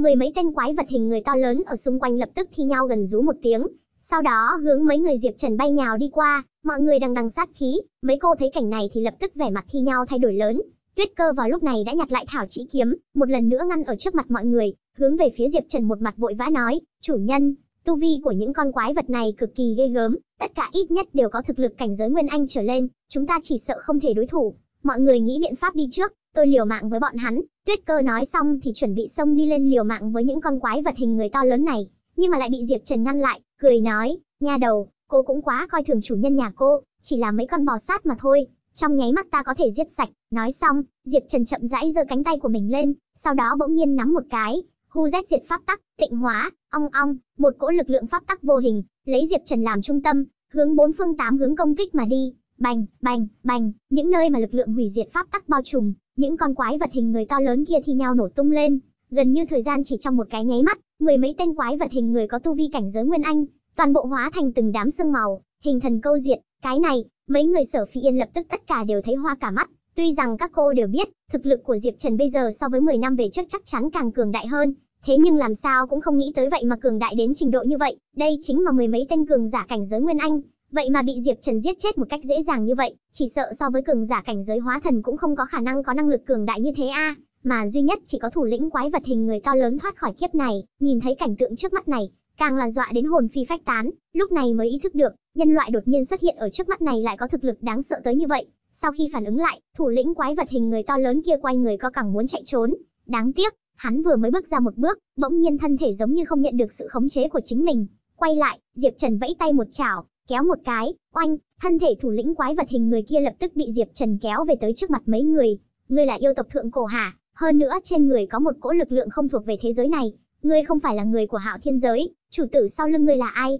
Một chân Diệp Trần dẫm lên ngực của thủ lĩnh quái vật hình người, để hắn không thể động đậy rồi lạnh giọng chất vấn, tên thủ lĩnh quái vật khổng lồ kia rõ ràng hiện ra vẻ kinh hãi, sau đó thì cười lạnh, nói, không nghĩ tới, ngươi vậy mà có thể liếc mắt đã nhìn ra được lai lịch của chúng ta, không sai, ta đến từ vạn yêu giới, chủ nhân của ta là chủ nhân của vạn yêu giới, vạn yêu đại đế, vạn yêu đại đế, Diệp Trần khẽ cho mày, rất rõ ràng, đây cũng là tồn tại một tên đế cấp, hơn nữa mục đích cũng giống với hỗn nguyên đại đế, cũng hướng về phía thế giới chi tâm mà tới. Thủ lĩnh quái vật hình người thấy vẻ mặt của Diệp Trần trở nên nghiêm túc, còn tưởng rằng hắn sợ, trên mặt lập tức hiện ra vẻ ngạo nhiên. Tiểu tử nhân loại, ta thấy ngươi dường như biết không ít bí mật của Hạo Thiên, nếu như ngươi chịu nói cho ta, làm sao có thể leo lên Thiên Tâm Phong, đồng thời giúp ta đạt được thế giới chi tâm của Hạo Thiên giới, về sau ta có thể dẫn ngươi tiến cử cho chủ nhân nhà ta. Sau này chờ chủ nhân nhà ta luyện hóa Hạo Thiên giới, chẳng những sẽ không giết ngươi, còn khen thưởng ngươi rất nhiều, ý của ngươi như thế nào? Quái vật hình người to lớn trước mắt này, cùng với những tên thủ hạ trước đó của hắn, cũng đều là quân tiên phong mà vạn yêu đại đế phái tới, đạt tới tồn tại cấp bậc như vạn yêu đại đế kia. Nếu như trực tiếp xâm lấn tới nơi này thì chắc chắn sẽ bị thiên ý của hạo thiên giới bài xích mà những tên yêu tộc trước mắt này. Thật ra thì nói trắng ra chính là pháo hôi. Đáng tiếc, ở xung quanh phía trên thiên tâm phong, bố trí không ít trận pháp cấm chế, yêu tộc không am hiểu trận pháp chi đạo, cho nên không cách nào leo lên thiên tâm phong, lúc này mới cảnh tượng trước đó, vừa nghĩ đến đây, khó miệng của Diệp Trần lập tức hơi nhếch lên. Nếu như ta không đồng ý thì sao? Thủ lĩnh quái vật hình người nghe được lời này của Diệp Trần thì lập tức sầm mặt lại, ngươi không đáp ứng cũng không sao, thế nhưng nếu như ngươi dám giết ta, chủ nhân nhà ta ngay lập tức sẽ buông xuống, ngươi cũng giống ta không sống lâu hơn được, Diệp Trần lập tức vui vẻ, vậy ta vẫn thật muốn gặp vị vạn yêu đại đế này một lần. Nói xong lời này, dưới chân Diệp Trần bỗng nhiên dẫm mạnh, bành, thủ lĩnh quái vật hình người ngay lập tức bị một cước của Diệp Trần dẫm cho nổ tung, hóa thành một đám xương máu, ầm ầm, sau khi thủ lĩnh quái vật hình người bị Diệp Trần tiêu diệt, không gian xung quanh lập tức lắc lư một trận, sau đó, răng rắc, Diệp Trần nhìn không gian trên đỉnh đầu thấy đột nhiên vỡ vụn ra, để lộ một khoảng trống của bóng tối vô tận, mà ở bên trong khoảng trống vô tận này, đột nhiên hiện ra một cái đầu long to lớn, cùng với tình cảnh mà Diệp Trần hôm đó ở trên vùng biển phía đông nhìn thấy cực kỳ giống nhau, đáng ghét. Ngươi cũng dám hủy quân cờ của bản đế, muốn chết. Sau khi đầu long kia xuất hiện thì lập tức gầm thét một tiếng, bỗng nhiên duỗi ra một cái long chảo, hướng thẳng đến Diệp Trần hung hăng chụp tới. Uy lực của một chảo này so với một quyền kia của Hỗn Nguyện Đại Đế ở trên vùng biển phía đông không hề yếu hơn bao nhiêu. Ừm, sắc mặt của Diệp Trần hơi đổi một chút, đối phương chính là cường giả cấp đại đế, chúa tể của một phương tiểu vũ trụ. Lấy thực lực và tu vi của hắn bây giờ căn bản không thể nào là đối thủ của đối phương, tuy nhiên hắn tuyệt không lo lắng, cũng không vội vàng chạy thoát thân, cũng không có xuất thủ chống lại, ngay vào lúc long chảo kia muốn rơi vào trên người Diệp Trần, ầm ầm, ở trên trời cao đột nhiên xuất hiện một bàn tay khổng lồ, hung hăng đạp vào trên đầu long của Vạn Yêu Đại Đế. Ngao, bên trong hư không vô tận kia lập tức truyền đến tiếng kêu thê lương thảm thiết của Vạn Yêu Đại Đế. Ngay cả đầu long kia cũng bị một bàn tay đột nhiên xuất hiện này hung hăng đập nát, hóa thành hư không, không cần hỏi, đây là thiên ý của Hạo Thiên giới xuất thủ, tự mình giúp Diệp Trần đánh lui cái tên Vạn Yêu Đại Đế không ai bì nổi kia, thiên ý che chở, ngươi lại là người thừa kế của Hạo Thiên giới, Bên trong hư không vô tận lại truyền tới tiếng kinh hô của vạn yêu đại đế, đáng tiếc ngươi quá yếu, căn bản không có khả năng luyện hóa được thế giới chi tâm. Hạo thiên giới đã được định sẵn sẽ bị chiếm đoạt, giọng nói của vạn yêu đại đế tràn ngập sự tức giận, sau đó hư không bị xé rách kia chậm rãi khép lại. Thời gian dần trôi qua không nghe thấy gì nữa, tuy rằng thiên ý xuất thủ, một lần hành động đánh lui vạn yêu đại đế, thế nhưng Diệp Trần lại không có một chút cao hứng nào, không thể không ngẩng đầu nhìn ngọn núi Thiên Tâm Phong cao không nhìn thấy đỉnh núi này, Xem ra vô danh đạo nhân nói không sai, rất nhiều cường giả cấp đại đế đều coi trọng cục thịt béo hạo thiên giới này, thậm chí chỉ sợ đã có người xâm lấn vào bản nguyên không gian, ta nhất định phải nắm chắc khoảng thời gian này mới được. Diệp Trần cũng không có lập tức trèo lên thiên tâm phong, mà là trước tiên đưa mấy người Tô Lam còn có đường Thanh Nhã và Trúc Tiểu Bạch theo mình tiến vào đây ngay lập tức đưa ra khỏi bí cảnh Côn Luân. Hắn vốn mang theo đường Thanh Nhã và Trúc Tiểu Bạch cùng đi, là muốn cho bọn họ tu luyện ở bên trong bí cảnh Côn Luân. Thế nhưng là bây giờ xem ra, lực lượng của thế giới khác đã xâm lấn tới nơi này, nơi này đã trở nên rất nguy hiểm, vẫn là rời khỏi đây thì tốt hơn. Còn về phần hai người Trúc Minh Phi và Diệp Thiên Ca, căn cứ theo lời kể lại của Sở Phi Yên thì hai người sớm ở hơn nửa năm trước đã leo lên Thiên Tâm Phong, đến nay còn chưa có xuống cho nên không biết sống chết ra sao. Tiểu Trần, dì biết cháu và Thiên Ca, ở giữa hai cha con cháu trong lòng vẫn luôn có khúc mắc. Tuy nhiên dì Lam khẩn cầu cháu nhất định phải đưa cha cháu từ trên núi Bình An trở về, sau khi Diệp Trần thu xếp tốt cho mọi người, Trước khi chuẩn bị rời đi, Tô Lam bỗng nhiên lôi kéo Diệp Trần, một mặt ngưng trọng mở miệng nói, Diệp Trần nhẹ gật đầu, dì Lam, dì yên tâm đi, cháu chắc chắn sẽ mang hắn và chúc huynh đệ bình an trở về. Thật ra thì, trước đó ở Mê La Tinh Hải ở trong không gian cuối cùng của đường luân hồi, sau khi Diệp Trần sống lại qua một lần ở thời tuổi thơ của mình, những khúc mắc trước kia với Diệp Thiên Ca cũng đã được tiêu trừ hoàn toàn. Sau khi cáo biệt mọi người, Diệp Trần một lần nữa đi vào bí cảnh Côn Luân, đi tới dưới chân Thiên Tâm Phong, ngẩng đầu nhìn lại, lấy nhãn lực của Diệp Trần bây giờ, đủ để nhìn thấy tình cảnh hơn ngàn dặm, nhưng mà lại căn bản không cách nào nhìn thấy phần cuối của Thiên Tâm Phong này. Dựa theo những gì vô danh đạo nhân nói trước đó, ngọn Thiên Tâm Phong này cũng không phải là một ngọn núi bình thường mà là cột sống của toàn bộ Hoa Hạ giới. Ngọn núi này diện tích chỉnh thể chỉ sợ còn muốn lớn hơn cả so với trái đất. Phía ngoài cùng của ngọn núi này có rất nhiều cấm chế phòng ngự, giống những tên yêu tộc không tin thông trận pháp trước đó, căn bản không có cách nào phá giải. Tuy nhiên, đây đối với Diệp Trần mà nói lại cũng không tính là rất khó khăn. Chỉ dùng thời gian ngắn ngủi khoảng 10 phút, Diệp Trần đã phá giải được cấm chế vào ngoài của Thiên Tâm Phong, chính thức bước chân vào phía trên ngọn núi, chẳng mấy chốc, trước mắt Diệp Trần xuất hiện một vùng thảo nguyên rộng lớn, không thể nhìn thấy điểm cuối, thần niệm quét xuống một cái, Diệp Trần phát hiện ở trên mảnh thảo nguyên này, có một số quốc gia và một số môn phái tu luyện, thậm chí cũng không ít cường giả có tu vi không kém, nơi này chắc là một cái thế lực mà Hạo Thiên Đại Đế lúc trước cố ý bồi dưỡng ra. Một khi có thế lực từ bên ngoài xâm phạm trên quy mô lớn thì những người này sẽ đứng dậy và chiến đấu. Đáng tiếc, môi trường sống bị khép kín, che khuất tầm mắt của những người này, chú định rất khó có được thành tựu quá lớn. Sau khi thần niệm của Diệp Trần đảo qua cũng không có phát hiện tung tích của Diệp Thiên Ca và Trúc Minh Phi bên trong đó, thế là cũng không có ý định ở lại, trực tiếp lặng lẽ vòng qua cái quốc gia ở trên thảo nguyên này, tiếp tục hướng về phía đỉnh núi đi tới.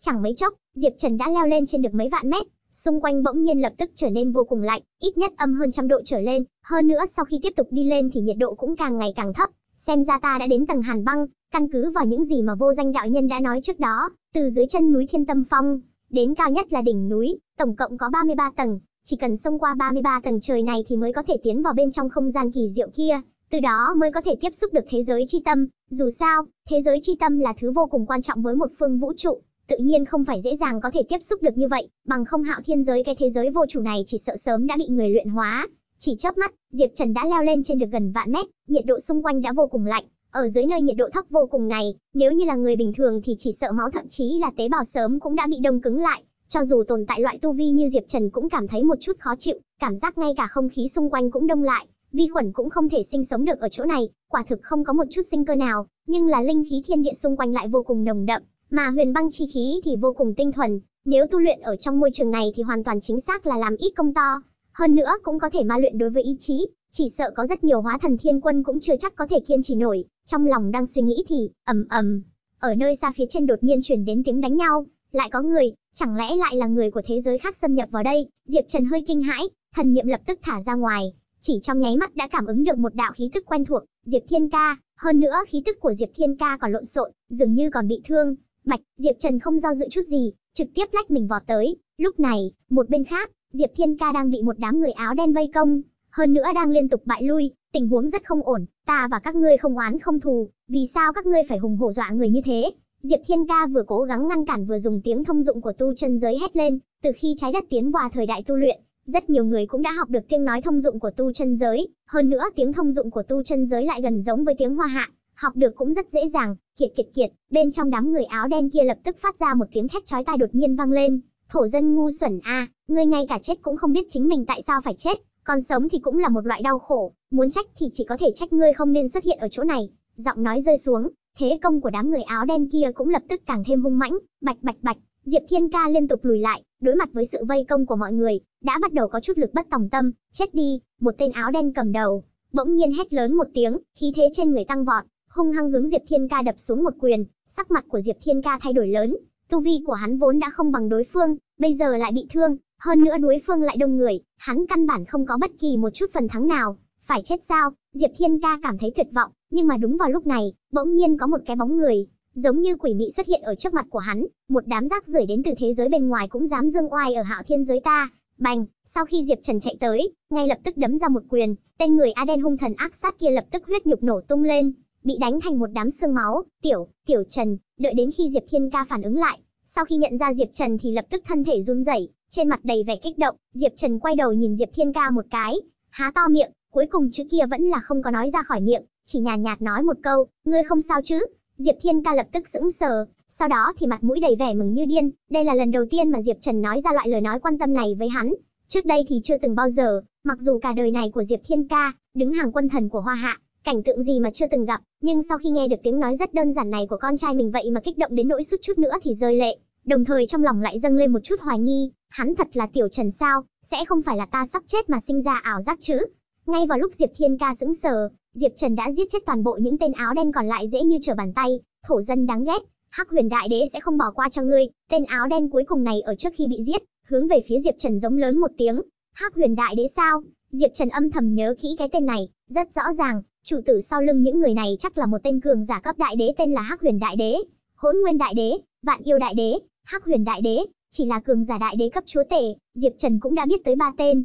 Nhiều đây cũng đủ để nhìn ra được Hạo Thiên giới cái thế giới vô chủ này ở trong chúa tể của các thế giới là nóng bỏng tay cỡ nào. Nếu như thật bị những người khác vượt lên trước một bước luyện hóa thế giới chi tâm, vậy thì kết quả của hắn chắc chắn là sẽ chết rất thảm. Ở đây quá nguy hiểm, mấy người dì Lam đã ra khỏi bí cảnh Côn Luân chờ ngươi, ngươi nhanh chóng rời khỏi nơi này đi. Sau khi Diệp Trần cứu Diệp Thiên Ca, buộc lòng phải chạy tới đỉnh núi Thiên Tâm, thế là quẳng xuống một câu, đang chuẩn bị rời đi. Diệp Thiên Ca thấy thế thì lập tức cuống lên, lập tức cao giọng nói, ngươi đúng là tiểu Trần sao, tại sao phải cứu ta? Diệp Trần nghe được lời này, dưới chân lập tức đứng lại, sững sờ ở tại chỗ, qua một lúc lâu mới chậm rãi nói ra, bởi vì ngươi là cha ta. Nói xong lời này, thân thể Diệp Trần nhoáng một cái đã biến mất ngay tại chỗ. Oanh, Diệp Thiên nghe nghe nói như thế thì lại giống như bị một đạo lôi điện bổ trúng đầu. Trọn vẹn ngơ ngác một lúc lâu sau thì bỗng nhiên ngửa mặt lên trời cười lên ha hả giống như thằng điên. Dung Dung, em đã nghe chưa? Con trai của chúng ta cuối cùng chịu nhận ta người cha này. Ha ha ha, khụ khụ, Diệp Thiên ca cười như điên một lúc, động tới thương thế bên trong cơ thể không thể không ho khan một trên,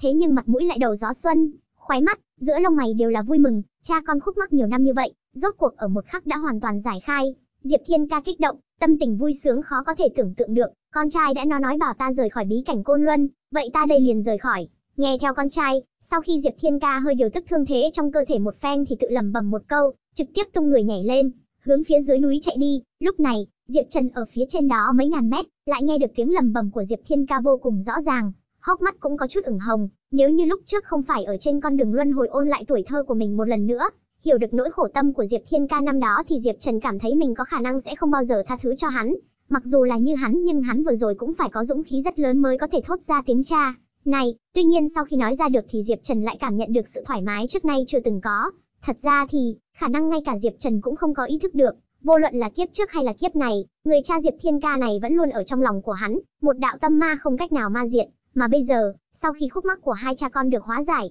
tâm ma sâu trong đáy lòng của hắn cũng trong lúc vô tình tiêu tán thành vô hình. Tâm cảnh của hắn vào lúc này, cách cảnh giới viên mãn chân chính cũng đã lại tiến lên thêm một bước. Diệp Trần một đường trèo đi lên, leo lên tới độ cao gần vạn mét, cuối cùng đi ra khỏi tầng hàn băng. Tuy nhiên, ngay sau đó thì nhiệt độ xung quanh đột nhiên tăng vọt, trước đó nhiệt độ vô cùng thấp, bây giờ nhiệt độ trong nháy mắt đã tăng lên cao tới mấy ngàn độ. Hơn nữa, sau khi leo lên cao không ngừng thì nhiệt độ cũng đang nhanh chóng tăng lên, chẳng mấy chốc nhiệt độ đã đạt tới mức độ kinh khủng mấy mấy vạn độ. Tuy nhiên, đối với Diệp Trần đã tu luyện qua cửu thiên phần thân quyết mà nói thì quả thực chỉ là một bữa ăn sáng, căn bản không tạo thành bất kỳ uy hiếp gì. Trúc Minh Phi tu luyện công pháp hệ hỏa, nếu như hắn đến tầng này thì chắc chắn sẽ ở lại chỗ này để tu luyện. Trong lòng Diệp Trần âm thầm suy nghĩ đồng thời trực tiếp phóng thần thức của mình ra ngoài, bắt đầu tìm kiếm tung tích của Trúc Minh Phi. Tuy nhiên, bởi vì xung quanh nhiệt độ quá cao, thần thức của Diệp Trần chỉ có thể bao trùm trong khoảng trăm dặm, Đại khái tìm kiếm một lúc vậy mà không thu hoạch được gì, thôi, bây giờ tìm tới thế giới chi tâm sớm một chút mới là quan trọng nhất, không tìm hắn nữa. Theo suy nghĩ của Diệp Trần thì tu vi của Trúc Minh Phi ở trong mọi người cùng tiên môn luôn luôn đứng đầu. Trước lúc Diệp Trần rời khỏi thì tu vi của hắn cũng đã tới cảnh giới Nguyên Anh, hơn nữa phóng tầm mắt trên toàn cầu cũng có thể coi là cường giả đỉnh cấp. Bây giờ mười mấy năm đã qua đi, lấy thực lực và thiên phú của hắn, cộng thêm lượng lớn pháp môn tu luyện đỉnh cấp mà Diệp Trần để lại, cho dù không có đạt tới cảnh giới hóa thần thì có lẽ cũng đủ để đối kháng cường giả cảnh giới hóa thần. Bởi vậy, đối với sự an nguy của Trúc Minh Phi mà nói thì Diệp Trần thật ra cũng không lo lắng mấy. Sau khi từ bỏ tìm kiếm Trúc Minh Phi, Diệp Trần lập tức lại bước nhanh hơn, tiếp tục leo lên phía trên, chẳng mấy chốc, Diệp Trần đã dễ dàng thuận lợi đi xuyên qua tầng xích hỏa, tiến vào tầng thứ ba, có lẽ là bởi vì trước đó Diệp Trần đã trải qua khảo nghiệm ở Mê La Tinh Hải, lại hoặc là được thiên ý của Hạo Thiên giới ưu ái, Diệp Trần một đường thông suốt không trở ngại, mỗi một tầng đối với hắn mà nói đều vô cùng dễ dàng, coi như thỉnh thoảng sẽ gặp được một số người từ thế giới khác xâm nhập thì toàn bộ cũng bị hắt giết chết, Ngắn ngủi một ngày không đến, Diệp Trần đã đi tới tầng thứ 32. Tuy nhiên, đáng nhắc tới chính là càng ngày càng tới gần đỉnh núi Thiên Tâm, Diệp Trần gặp được người bên ngoài thế giới cũng càng ngày càng mạnh, thậm chí đến cuối cùng đã bắt đầu xuất hiện cường giả có thể so với cường giả cấp bậc phản hư chân quân. Nếu như không phải Diệp Trần dựa vào lực lượng pháp tắc mà hắn nắm giữ thì chỉ sợ sớm đã chết ở trong tay những tên xâm nhập đáng sợ kia. Hơn nữa, Diệp Trần còn phát hiện, Tuy rằng chân thân của cường giả đại đế cấp chúa tể thế giới này không có cách nào hạ xuống ở bên trong hạo thiên giới, thế nhưng lại có thể dùng ý niệm của mình bám vào trên người những tên tiểu đệ mà bọn họ phái ra, sau đó dùng một loại bí thuật nào đó ngụy trang thành người của hạo thiên giới, từ đó che đậy thiên ý của hạo thiên giới công kích, nếu không phải trước đó ở trên vùng biển phía đông, từ trong công kích của hỗn nguyên đại đế để cho ta đối với việc lĩnh ngộ về lực lượng pháp tắc có một cái tăng vọt về chất, thì chỉ sợ ta căn bản không có khả năng đi tới một bước này, nghĩ tới tình cảnh trước đó giao thủ với những tên cường giả cường đại bên ngoài thế giới. Trong lòng Diệp Trần chợt âm thầm may mắn, tầng thứ 32, tầng ma chướng, cửa này đối với kẻ xông vào khác mà nói thì sẽ là một tầng rất nguy hiểm, nhưng là đối với Diệp Trần đã xông qua đường luân hồi mà nói thì lại không đáng nhắc tới. Diệp Trần ngẩng đầu đi vào trong sương mù phía trước, chẳng mấy chốc, xung quanh bắt đầu xuất hiện các loại ảo giác, ý đồ mê hoặc tâm linh của Diệp Trần. Diệp Trần một đường đi qua căn bản không hề bị lay động, tâm tư kiên định như tảng đá. Trên đường đi, Diệp Trần cũng gặp được một số người ở bên ngoài thế giới xâm nhập vào đây, tuy nhiên lại cũng không bị ma chướng quấn thân roi rơi vào bên trong ảo cảnh, căn bản không cần hắn phải xuất thủ, bọn họ đã tự thân khó bảo toàn, trọn vẹn leo lên trên được 3 vạn mét. Sương mù xung quanh rốt cuộc cũng tán đi, Diệp Trần cũng thành công đi ra ma chướng, đi tới tầng thứ 33, tầng trời ly hận. Ở trong truyền thuyết thần thoại của đạo gia thì có 33 tầng trời, thì tầng trời ly hận là cao nhất, cũng là nơi ở của đạo tổ Thái thượng lão quân, rất nhiều thần thoại truyền thuyết, tất cả đều được ghi chép tốt, nhưng lại không hoàn toàn chính xác. Tầng trời ly hận chân chính là nơi ở của Hạo Thiên Đại Đế ngày xưa, cũng là chỗ của thế giới chi tâm. Diệp Trần bước một bước vào tầng trời ly hận, lập tức bị cảnh tượng hùng vĩ mỹ lệ ở trước mắt làm cho sợ ngây người. Nơi không gian này, dường như không biên giới không giới hạn, không nhìn thấy điểm cuối, hơn nữa vẫn luôn không ngừng sụp đổ, tái tạo, hủy diệt, trọng sinh. 49 loại lực lượng pháp tắc, đan lẫn vào nhau cũng một chỗ, mơ hồ ẩn chứa thiên địa sinh diệt của vũ trụ, Diệp Trần chỉ cảm thụ một lúc, đã cảm thụ được lợi rất nhiều, đối với lĩnh ngộ về 49 loại pháp tắc lại tăng lên thêm một bậc thang, loại cảm giác này thật rất kỳ diệu,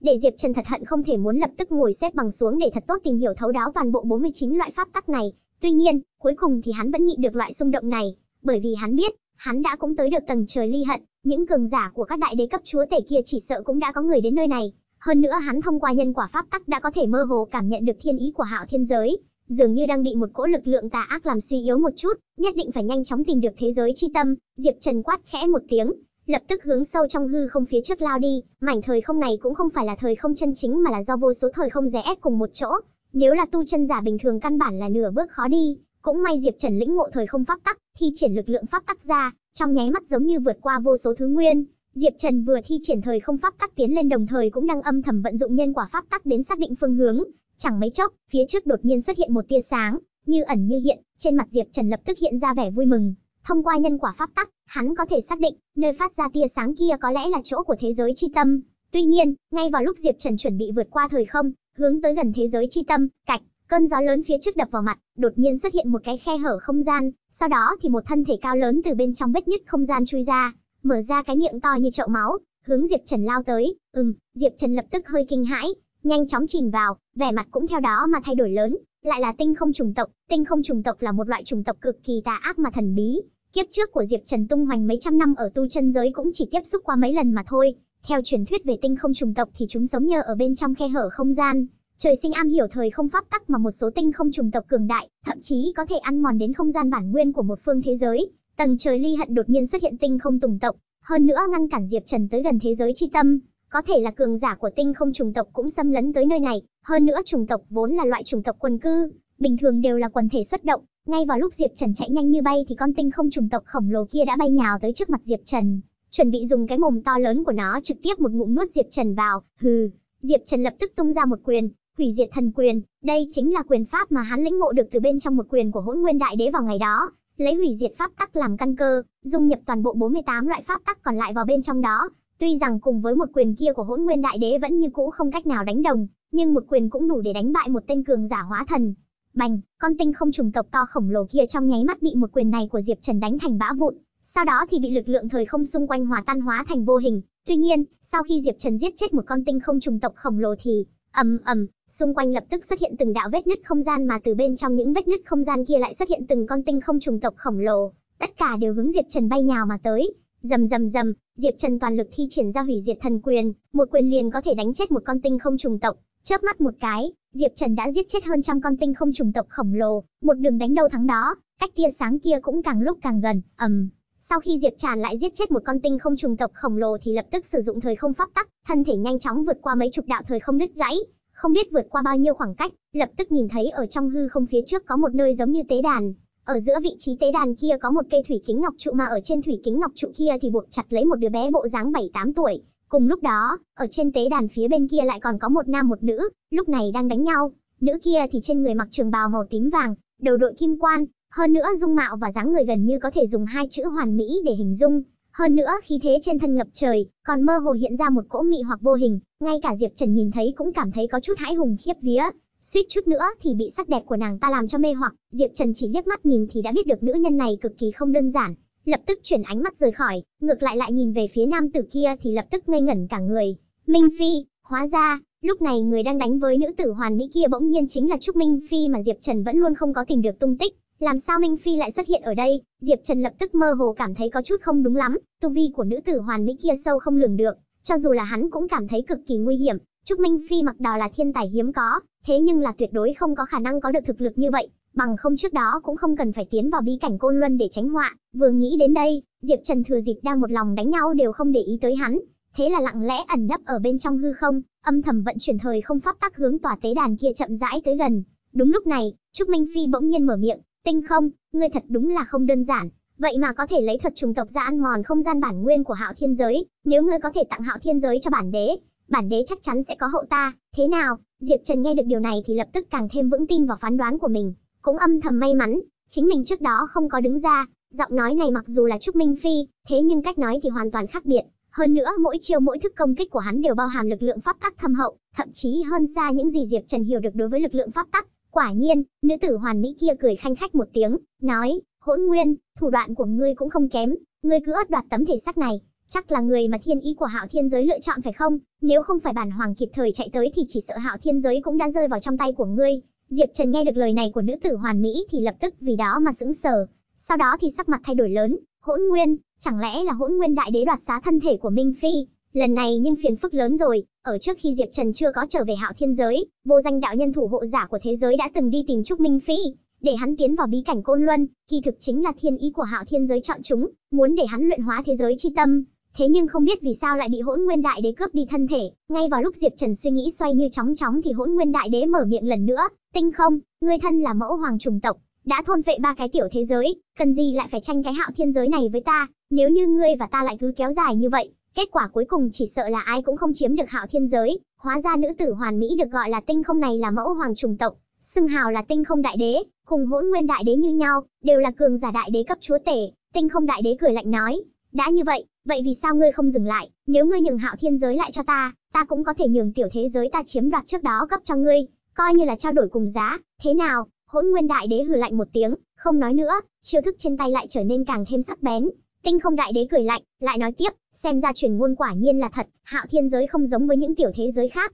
tương lai sẽ thay thế tu chân giới trở thành chủ thế giới mới. Diệp Trần vừa lắng nghe đối thoại của hai đại cường giả, vừa lặng lẽ đi tới gần tế đàn, ánh mắt không thể không nhìn chằm chằm vào đứa bé đang bị lực lượng pháp tắc buộc chặt vào trên ngọc trụ giữa tế đàn kia. Đứa bé này dường như cũng không phải là nhân loại, hơn nữa tại sao lại cho ta một loại cảm giác cực kỳ thân thiết, chẳng lẽ nó chính là thế giới chi tâm? Diệp Trần núp ở trong bóng tối, suy nghĩ nhanh chóng, tuy nhiên cũng không có hành động thiếu suy nghĩ, dù sao hai người trước mắt kia đều là cường giả cấp đại đế là chúa tể của các thế giới khác, thực lực đều hơn xa Diệp Trần, hơn nữa cũng đều là người xâm nhập, nếu lúc này hắn ngoi đầu lên, nói cũng chừng sẽ bị hai người cùng nhau diệt đi, kế trước mắt chỉ có tọa sơn quan hổ đấu, tốt nhất hai người bọn họ đánh tới lưỡng bại câu thương, ta làm ngư ông đắc lợi, sau khi hạ quyết tâm, Diệp Trần lập tức thu liễm tất cả khí tức của chính mình, lặng lặng ở một bên quan chiến, rầm rầm rầm, Trúc Minh Phi bị Hỗn Nguyên Đại đến chiếm cứ thân thể đánh nhau túi bụi với Tinh Không Đại Đế. Hai người đều là cường giả đại đế cấp chúa tể, tuy rằng ở bên trong Hạo Thiên giới, bọn họ ngay cả một phần ngàn thực lực cũng không phát huy ra được, những mỗi một chiều mỗi một thức đều ẩn chứa pháp tắc chi đạo vô tận.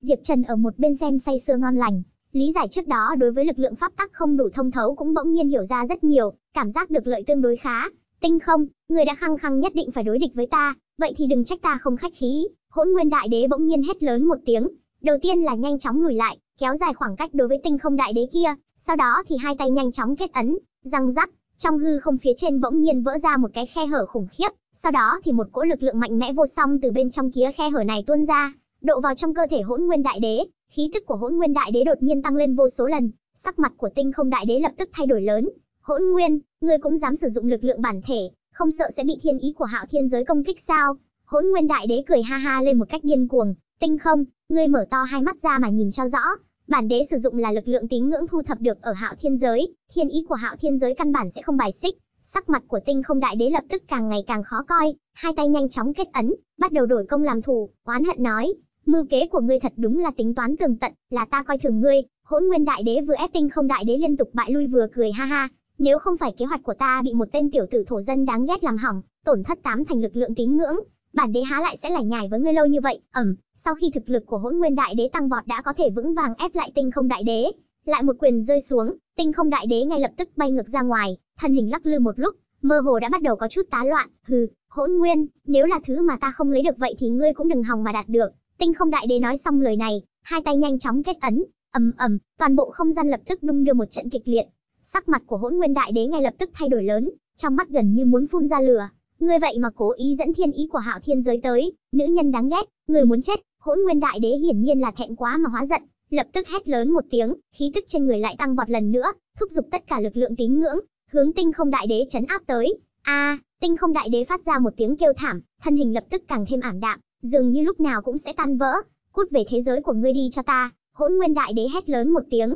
lần nữa nâng cánh tay lên cao, hướng Tinh Không Đại Đế hung hăng đập xuống dưới. Vô luận là Tinh Không Đại Đế hay là Hỗn Nguyên Đại Đế, bọn họ đều là tồn tại cấp chúa tể, hơn nữa chỉ dùng một đạo ý niệm để chiến đấu, căn bản không có khả năng thực sự giết chết được đối phương, chỉ có điều một bên thua sẽ bị trục xuất ra khỏi Hạo Thiên giới mà thôi. Mắt thấy một trưởng này của Hỗn Nguyên Đại Đế vỗ xuống, Tinh Không Đại Đế chắc chắn sẽ bị thua. Tuy nhiên, ngay vào lúc này, Diệp Trần một mực đang vụng trộm quan chiến, cuối cùng ngồi không yên, hai người kia, vô luận là ai cũng lợi hại hơn so với ta rất nhiều. Nếu như để nữ nhân kia chiến thắng thì ta còn có một chút hy vọng, nếu Hỗn Nguyên Đại Đế chiến thắng thì ta chắc chắn phải chết không thể nghi ngờ. Tình cảnh trước mắt chỉ sợ là cơ hội duy nhất của ta, liều mạng. Sau khi Diệp Trần quyết định, lập tức thi triển thời không pháp tắc, từ đằng sau giết ra ngoài, chân thực pháp tắc hiển hiện, một kích tập kích này của Diệp Trần cũng không có sử dụng hủy diệt pháp tắc có lực sát thương mạnh nhất, mà là dùng chân thực pháp tắc để có thể bài trừ tất cả hư ảo. Tất cả lực chú ý của Hỗn Nguyên Đại Đế, toàn bộ đều đặt ở trên người của Tinh Không Đại Đế. Hơn nữa hắn tự cho là đại cục đã định, lúc này chính là lúc Dương Dương đắc ý, căn bản không có nghĩ đến. Đằng sau lại đột nhiên xuất hiện một người tới, oanh, đợi tới lúc Hỗn Nguyên Đại Đế phản ứng lại thì quyền kình của Diệp Trần đã rơi vào trên người hắn. Nhưng, dường như cũng không có tác dụng gì, là ngươi, chỉ là một con run dế, cũng dám nhiều lần phá hỏng chuyện tốt của bản đế. Muốn chết, Hỗn Nguyên Đại Đế liếc mắt là nhận ra Diệp Trần, lập tức tức giận đến nghiến răng ken két, trở tay ngay lập tức chính là một trưởng, ầm ầm, một đạo trưởng lực mênh mông, hung hăng hướng Diệp Trần ở phía dưới dập xuống, thế không thể đỡ, sắc mặt Diệp Trần lập tức thay đổi lớn. Hỗn Nguyên Đại Đế này, không hổ là cường giả cấp đại đế cho dù chỉ có thể phát huy ra thực lực không tới một phần vạn, cũng không phải Diệp Trần bây giờ có thể chống lại, mắt thấy một trưởng này rơi xuống, Diệp Trần coi như không chết thì cũng phải trọng thương. Ầm ầm, hư không đằng sau Diệp Trần đột nhiên vỡ ra, một cái bàn tay to lớn từ bên trong vươn ra ngoài, thay Diệp Trần đỡ được một trưởng này. Sao lại thế? Hỗn Nguyên Đại Đế lập tức kinh hô một tiếng, hiển nhiên không nghĩ tới, chính mình vậy mà lại bị Thiên Ý công kích một lần nữa. Hắn chiếm cứ thân thể của Trúc Minh Phi chính là vì muốn ẩn giấu khỏi sự chú ý của Thiên Ý Hạo Thiên giới, nhưng không nghĩ tới thế mà vẫn bị phát hiện, không đúng, là tiểu tử này giở trò quỷ. Hỗn Nguyên Đại Đế lúc này mới bỗng nhiên ý thức được, hóa ra là bởi vì Diệp Trần trước đó đánh ra một quyền chân thực pháp tắc, làm cho khí tức thật sự của hắn lộ ra ngoài, cho nên mới dẫn tới thiên ý công kích. Oanh, không cho Hỗn Nguyên Đại Đế cơ hội tiếp tục ẩn tàng, thiên ý hóa thành bàn tay khổng lồ, lần nữa hung hăng đập xuống, Trúc Minh Phi bay ngược ra ngoài. Một đoàn ánh sáng sáng chói từ trong thân thể của Trúc Minh Phi bị bắn bay ra ngoài, đó chính là một sợi thần hồn của Hỗn Nguyên Đại Đế. Bành, bàn tay khổng lồ do thiên y hóa thành lại đập xuống lần nữa, một sợi thần hồn của Hỗn Nguyên Đại Đế kia trong nháy mắt bị vỗ tan. Con kiến hôi đáng ghét, bản đế chuẩn bị 10 vạn năm, dòng dã 10 vạn năm nha, không nghĩ tới cuối cùng vậy mà bị hủy ở trong tay ngươi cái con kiến hôi nho nhỏ này, ta hận, ta thật hận a. Một sợi thần hồn của Hỗn Nguyên Đại Đế kia, lúc bị một trưởng của Thiên y Hạo Thiên giới vỗ nát lập tức phát ra một tiếng gào thét tràn ngập hận ý nồng đậm, đứng ở góc độ của Hỗn Nguyên Đại Đế để mà xem thì hắn thật sự là rất khổ. Mưu kế tỉ mỉ trong 10 vạn năm, cuối cùng sắp thành thì lại bại, hơn nữa lại còn thua ở trong tay Diệp Trần. Cái người mà hắn coi như chỉ là một con run dế không có để vào trong mắt, sau khi xử lý xong Hỗn Nguyên Đại Đế loại cường địch này, Diệp Trần thuận tay vung lên kéo Trúc Minh Phi tử trong hư không trở về ném sang một bên ở trên tế đàn, ngược lại nhìn về phía Tinh Không Đại Đế ở một bên, ra vẻ buông lỏng cười nói, "Mỹ nữ, vừa rồi cũng coi như ta cứu được ngươi một lần, ngươi chắc là sẽ không lấy oán trả ơn a." Vừa rồi hắn có thể đánh bại Hỗn Nguyên Đại Đế, hoàn toàn là đầu cơ trục lợi, chủ yếu là xảo diệu mượn lực lượng thiên ý, nếu như dựa hoàn toàn vào thực lực thì hắn căn bản không thể nào là đối thủ của cường giả cấp đại đế chúa tể của một thế giới được. Chính như trước đó Hỗn Nguyên Đại Đế nói như vậy, lấy thực lực bây giờ của Diệp Trần, ở trước mặt cường giả cấp đại đế, hoàn toàn chính xác cùng con kiến hôi không có gì khác nhau, mà nữ nhân trước mắt này cũng là cường giả cấp đại đế. Tuy rằng trước đó giao thủ với hỗn nguyên đại đế, đã bị thương không nhẹ, hơn nữa cũng chỉ là một đạo lực lượng thần hồn, vẫn như trước đủ để cấu thành uy hiếp to lớn đối với Diệp Trần. Tinh không đại đế nghe được điều này, đôi mi thanh tú lập tức hơi nhíu lại, nét mặt tươi cười như hoa nói, đương nhiên sẽ không, tuy nhiên, nếu như công tử có thể tặng thế giới chi tâm cho ta, thì ta tự nhiên càng thêm cảm tạ công tử, khanh khách, tinh không đại đế chính là mẫu hoàng của tinh không trùng tộc, một cái nhăn mày một nụ cười của nàng đều hiện ra vô cùng mị hoặc, cho dù là lấy tâm cảnh của Diệp Trần bây giờ, căn bản cũng không dám nhìn thẳng, sợ không cẩn thận, tâm trí cả người đều sẽ bị nàng ta bắt làm tù binh biến thành thần dưới quần của nàng. Hừ, lời nói thật không sợ nói cho ngươi, ta nhận được truyền thừa của Hạo Thiên Đại Đế, lúc nào cũng có thể triệu hoán thiên ý chiến đấu cho ta, nếu như ngươi không hết lòng gian, vậy ta đành phải sử dụng thiên ý đuổi ngươi ra ngoài. Diệp Trần ăn nói có khí phách, ngôn từ chính nghĩa, một mặt vẻ kiên quyết, thật ra thì trong lòng hoàn toàn không chắc, hết cách rồi, chuyện cho tới bây giờ, hắn cũng vô kế khả thi, chỉ có dùng không thành kế đánh cược một phen, hơn nữa, nữ nhân trước mắt này bị thương không nhẹ, nếu thật là liều chết, hắn cũng chưa chắc không có lực đánh một trận. Tinh không đại đế thấy Diệp Trần tự tin như vậy thì đôi mi thanh tú lập tức hơi năn lại, hiển nhiên nổi lên mấy phần hoài nghi, sau khi suy nghĩ một lát thì bỗng nhiên lại cười lên khanh khách một lần nữa, nói, thôi được, nói đến, bản hoàng và tiểu gia hỏa hạo thiên kia cũng coi là có mấy phần ngọn nguồn. Ngươi đã là người nhận truyền thừa của hắn, bản hoàn xem ở mặt mũi của hắn không làm khó với ngươi, nói xong lời này, tinh không đại đế vậy mà thật xoay người đi, chỉ chốc lát đã hoàn toàn biến mất ở trong khe hở thời không, nói thật, Diệp Trần không nghĩ tới, nữ nhân này vậy mà dễ nói chuyện như thế, hắn thậm chí cũng đã làm xong chuẩn bị liều chết chiến một trận, nghe ý tứ trong lời nói vừa rồi của nàng, dường như cũng quen biết Hạo Thiên Đại Đế, chẳng lẽ hai người bọn họ, Diệp Trần ở trong lòng âm thầm lẩm bẩm một câu, sau đó thì quay người trở lại trên tế đàn kia, không nghĩ tới đứa bé trước đó bị trói ở trên ngọc trụ của tế đàn, lúc này đã tự mình thoát ra, tính cả tế đàn chung quanh kia cũng theo đó mà biến mất không thấy đâu nữa. Hóa ra, cái tế đàn kia chính là hỗn nguyên đại đế dùng để luyện hóa thế giới chi tâm. Bây giờ hắn đã được thiên ý trục xuất thế giới này, tế đàn tự nhiên cũng chính là biến mất không thấy. Ta có thể cảm ứng được, trên người ngươi có ấn ký của phụ thần, xem ra ngươi chắc là người thừa kế mà phụ thần lựa chọn. Đứa bé đi tới trước mặt Diệp Trần, thần sắc không buồn không vui, giống như không tồn tại bất cứ chút cảm tình ba động nào. Diệp Trần nhẹ gật đầu, suy đoán phụ thần trong miệng của hắn, chắc là Hạo Thiên Đại Đế, thế là nói thật nói,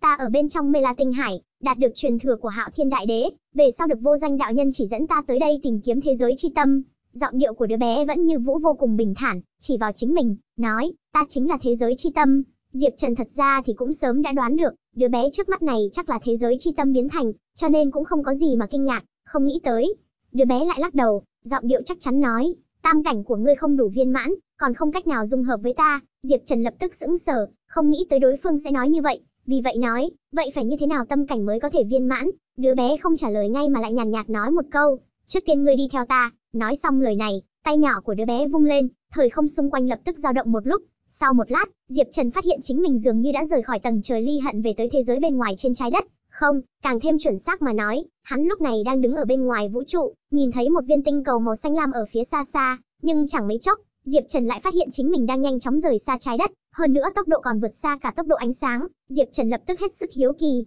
nhịn không được hỏi, bất luận tốc độ của vật chất gì, một khi vượt qua tốc độ của ánh sáng thì sẽ gây nên hiện tượng thời không chảy ngược, bản thân cũng sẽ tan vỡ, làm sao mà chúng ta không có việc gì? Đứa bé thản nhiên nói, dựa theo thời không pháp tắc mà nói thì quả thật là như vậy, nhưng thời không pháp tắc là dựa vào ta làm vật tham chiếu, cho nên đối với ta mà nói, tất cả đều không có ý nghĩa. Đương nhiên, cảnh giới này không phải ngươi bây giờ có thể lĩnh ngộ, Diệp Trần hoàn toàn chính xác có phần không hiểu, không biết rõ áo nghĩa trong đó, dứt khoát cũng không nói thêm lời nào, thời gian ở trong một cái nháy mắt, Diệp Trần cảm giác chính mình dường như đã đi qua mấy chục vạn năm ánh sáng, đi tới bên trong mảnh hư không vô tận, nhìn, đứa bé chỉ vào phía dưới, chậm rãi mở miệng nói, chỗ đó chính là giải ngân hà trong miệng của các ngươi. Diệp Trần nhìn lại, quả nhiên thấy được một cái vòng xoáy tinh hệ rất lớn, mỹ lệ chói mắt, đứa bé vừa chỉ chỉ xung quanh, nói, thiên hà giống như giải ngân hà của các ngươi còn có hơn trăm tỷ cái. Diệp Trần lập tức vì đó mà bị kiềm hãm, lúc này mới ý thức được, chính như đứa bé nói, giải ngân hà trong mắt hắn đã vô cùng bao la hùng vĩ, ở trong vũ trụ mịt mờ lại chỉ là một cái tồn tại không có ý nghĩa mấy.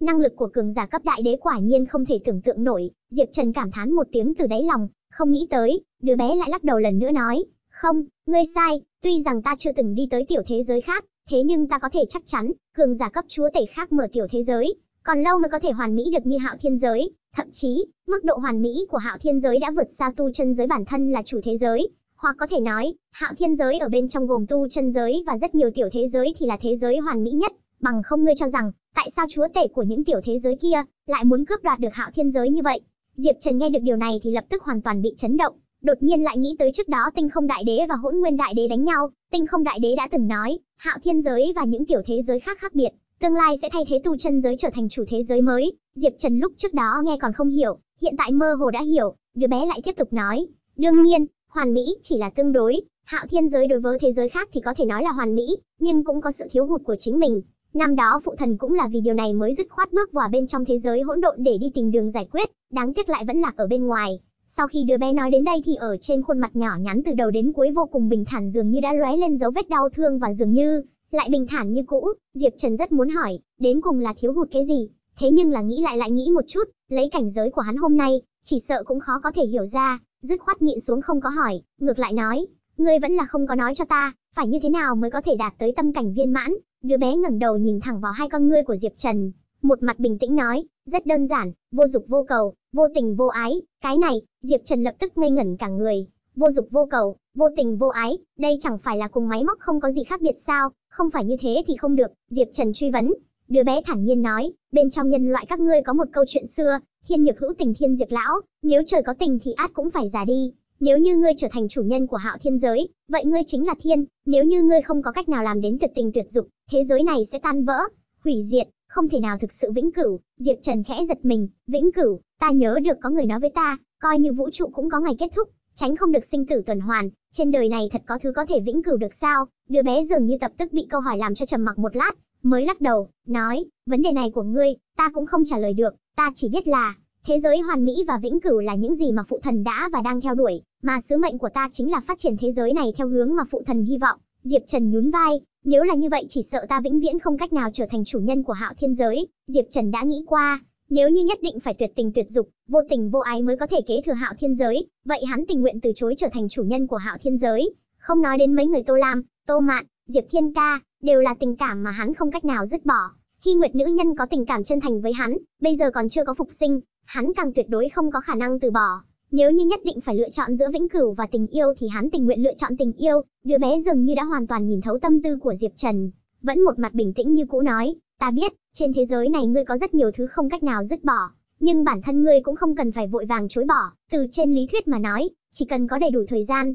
bất kỳ đồ vật gì cũng có thể thay đổi, chờ đến khi tất cả ràng buộc trong lòng ngươi, toàn bộ bị thời gian ma diệt, ngươi cuối cùng sẽ hiểu ra, Vĩnh cửu mới là câu trả lời duy nhất, vẻ mặt của đứa bé rất bình tĩnh, giọng điệu lại vô cùng chắc chắn, Diệp Trần im lặng không nói, hoàn toàn chính xác. Giả thiết hắn có được sinh mệnh vô cùng vô tận mà người đứng bên cạnh hắn cuối cùng đều sẽ có một ngày chết đi, bên trong năm tháng thời gian dài rằng giặc vô tận, thời gian cuối cùng sẽ mà diệt hết mọi tình cảm, thẳng đến hoàn toàn trở thành một người tuyệt tình tuyệt ái, cái này dường như là điều tất nhiên. Đứa bé thấy Diệp Trần rơi vào trầm tư, trên khuôn mặt nhỏ nhắn hiện ra vẻ bình tĩnh, dường như cũng léo lên về tán thưởng, Xem ra ngươi đã lĩnh ngộ, mặc dù ngươi bây giờ còn không có KHCS nào hoàn toàn dung hợp với ta, tuy nhiên như vậy cũng tốt, ngươi trước tiên có thể trở thành trưởng khống giả của Hạo Thiên giới, giúp ta đã thông thông đạo giữa Hạo Thiên giới và tu chân giới một lần nữa, giúp ta thành lập trật tự thế giới, để một phương thế giới này giành lấy sinh cơ, về phần khi nào ngươi có thể trở thành chúa tể chân chính của Hạo Thiên giới, ta có thể đợi, đối với ta mà nói, thời gian là không bao giờ thiếu. Sau khi đứa bé nói xong lời này cũng mặc kệ Diệp Trần có đồng ý hay không,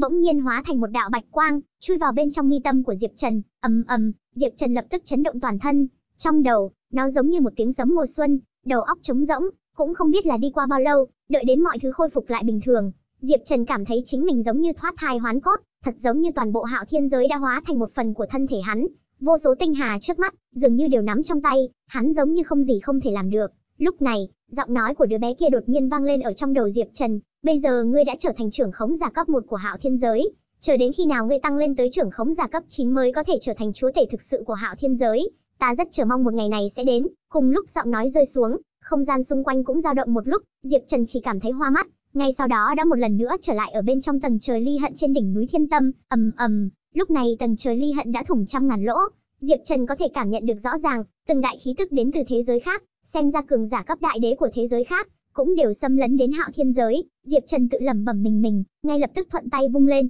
chết đi, bành, bành, bành. Những người xâm nhập đến từ thế giới khác kia, trong nháy mắt toàn bộ ngay lập tức hóa thành bột mịn. Tuy rằng Diệp Trần còn chưa có luyện hóa thế giới chi tâm, nhưng hôm nay đã là trưởng khống giả của thế giới này, ở bên trong toàn bộ hạo thiên giới, trừ khi hạo thiên đại đế sống lại, bằng không hắn chính là tồn tại vô địch. Nói sao làm vậy, không có gì không làm được, tu phục, Diệp Trần lại nhẹ nhàng phun ra hai chữ nữa. Tầng trời ly hận vốn bị người xâm nhập phá hư đã thủng trăm ngàn lỗ, bắt đầu nhanh chóng khôi phục lại, chớp mắt một cái cũng đã khôi phục lại như lúc ban đầu, mà ngay cả cách đó không xa, Trúc Minh Phi bản thân bị trọng thương đã hôn mê, cũng đã từ từ tỉnh lại, Diệp huynh đệ, thật là ngươi sao? Chúng ta, chúng ta đang ở đâu đây? Sau khi Trúc Minh Phi tỉnh táo lại, lập tức một mặt mờ mịt, cảm giác giống như là đang nằm mơ, Diệp Trần biết, ép coi như mình giải thích, Trúc Minh Phi đoán chừng nghe cũng không hiểu, thế là mỉm cười, đi ra ngoài trước lại nói, Diệp Trần thuận tay vung lên, dùng một đạo lực lượng pháp tắc bao bọc lấy Trúc Minh Phi, trực tiếp ra khỏi tầng trời ly hận, hướng bên dưới chân núi Thiên Tâm lao đi. Trên đường đi, lại gặp một số người từ thế giới khác xâm nhập,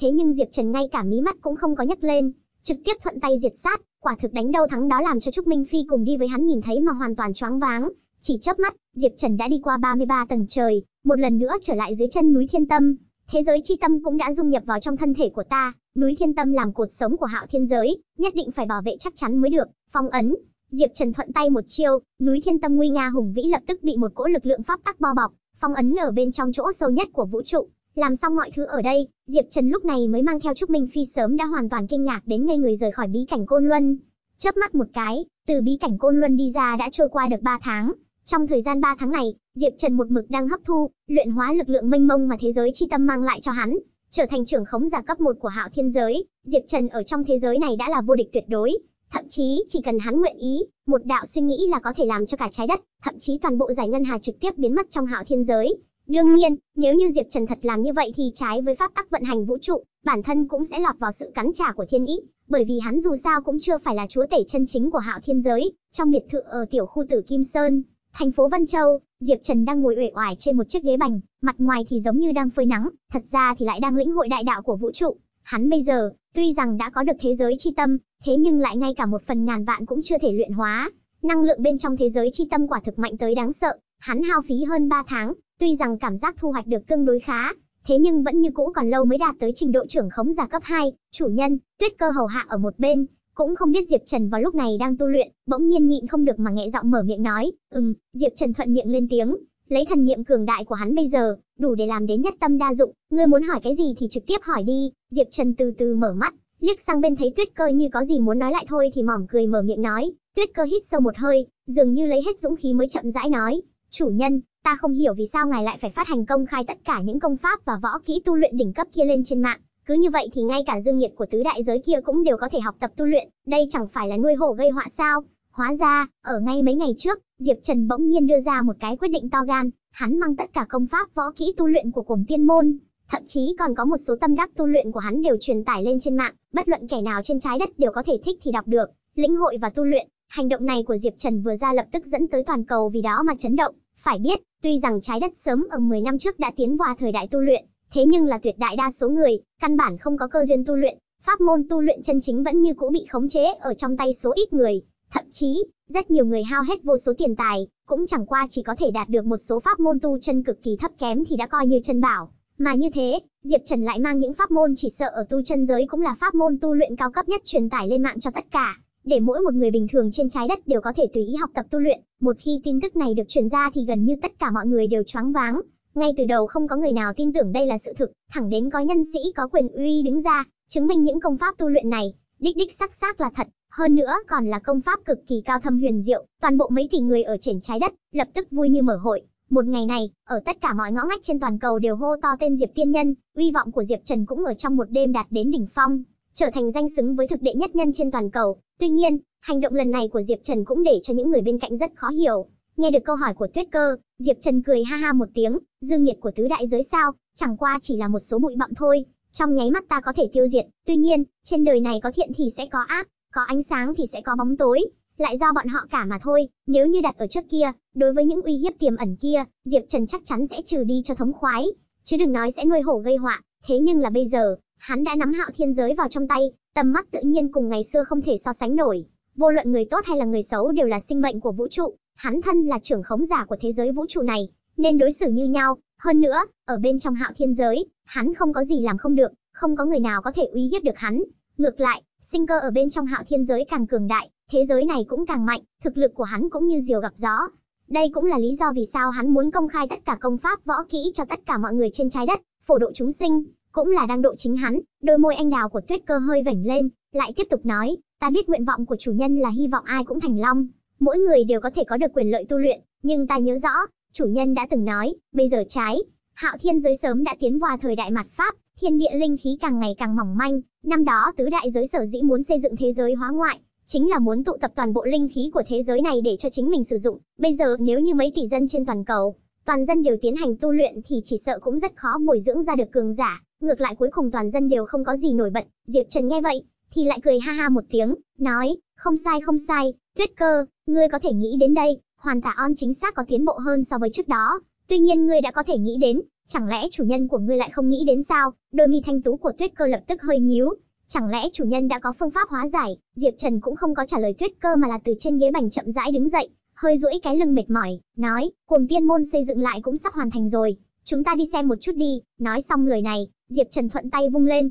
một cỗ lực lượng pháp tắc bao bọc lấy tuyết cơ. Hai người trong nháy mắt biến mất ngay tại chỗ không thấy đâu nữa. Ngay sau đó, hai người đã đi tới phía trên đỉnh núi Everest. Mà lúc này, trên đỉnh núi Everest vốn trụi lủi, bỗng nhiên xuất hiện một loạt kiến trúc hùng vĩ to lớn. Hóa ra, từ sau khi trở lại Vân Châu, mấy người Sở Phi Yên và Trúc Minh Phi dựa theo chỉ thị của Diệp Trần, bắt đầu xây dựng lại cùng tiên môn, hơn nữa nơi Diệp Trần lựa chọn chính là ở trên đỉnh núi Everest. Người nào dám xông vào cuồng tiên môn ta, xung quanh tông môn đều có bố trí đại trận hộ sơn. Hơn nữa sau khi Diệp Trần hạ xuống cũng không có che giấu hành tung của mình vì thế bên trong tông môn lập tức truyền đến một tiếng quát lớn, bá bá bá, giọng nói rơi xuống, từng cái bóng người từ bên trong tông môn lao ra, rõ ràng là Trúc Minh Phi, Sở Phi Yên, Đường Thanh Nhã, Trúc Tiểu Bạch và hơn trăm đệ tử cuồng tiên môn trước đó di tán tản mát ở khắp các nơi trên thế giới, một mạch toàn bộ đều đi ra, mọi người thấy là Diệp Trần thì lập tức tất cả đều mừng rỡ, lập tức thi nhau khom mình hành lễ. Bái kiến môn chủ đại nhân, Diệp Trần cười ha ha một tiếng, thuận tay vong lên nâng mọi người dậy, các vị xây dựng tông môn có công, nên có phong thưởng.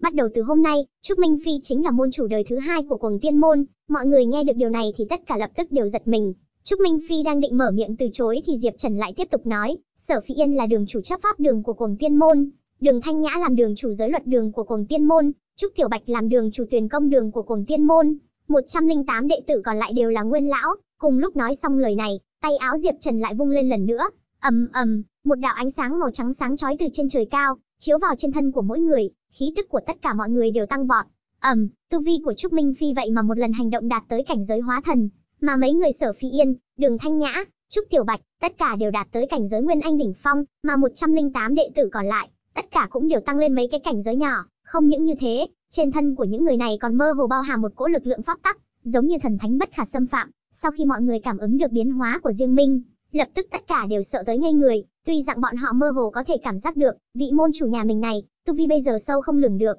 thế nhưng lại tuyệt đối không ngờ rằng vậy mà lại cường đại đến tình trạng như thế, thế mà phát tay một cái lại khiến cho tu vi của hơn 100 người ở đây, toàn bộ tăng lên rất nhiều, thủ đoạn như thế quả thực cũng chỉ có thể dùng thần tích để hình dung, nhưng là, một số người cẩn thận phát hiện, sau khi tu vi của những người bọn họ tăng lên, thiên địa linh khí ở xung quanh đỉnh núi Everest cũng theo đó mà khô kiệt đi rất nhiều, quả nhiên, linh khó trên hạo thiên giới quá mức mỏng manh, không đủ để trèo chống nhiều cường giả như vậy, xem ra phải đả thông thông đạo giữa hạo thiên giới và tu chân giới một lần nữa đã là chuyện vô cùng cấp bách, sau khi Diệp Trần lẩm bẩm một mình xong thì một mặt ngưng trọng nhìn về phía mấy người Trúc Minh Phi, nói, vừa rồi ta đã dùng phương pháp quán đỉnh, giúp mọi người tăng tu vi lên, tuy nhiên các ngươi trước tiên không nên cao hứng quá sớm, năng lực càng lớn, trách nhiệm cũng càng lớn. Từ nay về sau, nhiệm vụ của các ngươi chính là bảo vệ trái đất, bảo vệ hạo thiên giới. Mọi người nghe được lời này của Diệp Trần thì lập tức càng choáng váng. Không rõ lời này là có ý gì, Diệp Trần lại chỉ vào vị trí tiên mộ dưới chân núi Everest. Chậm rãi nói, chỗ đó có một cái thông đạo đi về thế giới khác, ta sẽ ngay lập tức đả thông nó, sau khi được đả thông,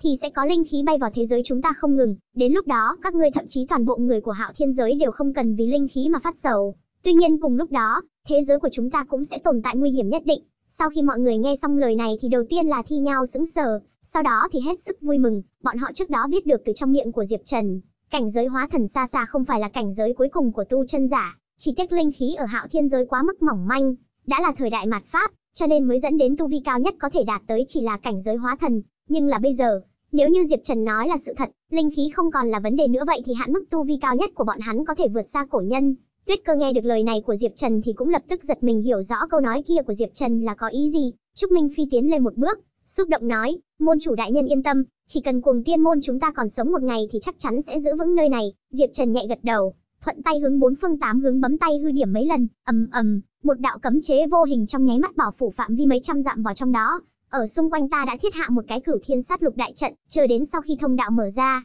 nếu như xuất hiện người của thế giới khác xâm nhập thì giết chết bất luận tội. Vâng, các môn nhân của cuồng tiên môn đều thi nhau không người đồng ý. Thân thể Diệp Trần hơi trao đảo một cái thì hướng thẳng tới phương hướng của tiên mộ mà đi, tiến vào trong tiên mộ. Đây là lần thứ ba Diệp Trần đi tới nơi này, có thể nói là quen đường dễ đi. Diệp Trần một bước bước qua trón tầng cấm chế tự động tan vỡ toàn bộ không còn sót lại chút nào, tiến vào bên trong không gian tầng thứ 9, phía trước chính là thông thiên lộ, chỉ tiếc đã bị đứt gãy. Tuy rằng có trận pháp không gian truyền tống, có thể để hắn giống như hơn 10 năm trước trở về tu chân giới một lần nữa, Tuy nhiên mục đích lần này của Diệp Trần không chỉ có đơn giản là trở về tu chân giới như vậy, lần này hắn muốn làm là khôi phục hoàn toàn thông thiên lộ bị đứt gãy trở lại như lúc ban đầu, chân chính đả thông thông đạo giữa tu chân giới và hạo thiên giới, chỉ có như vậy, thiên địa linh khí của tu chân giới mới có thể bay vào bên trong hạo thiên giới. Phá, Diệp Trần thuận tay một quyền, phá nát pháp tắc không gian truyền tống, hư không phía trước lập tức hoàn toàn trở thành hư vô, thời không pháp tắc tái tạo. Sau khi tay áo dài của Diệp Trần vung lên, ở dưới chân, bên cạnh hắn bắt đầu nổi lên ánh sáng trắng sáng chói, một cái đường hầm không gian bắt đầu chậm rãi ngưng tụ thành hình,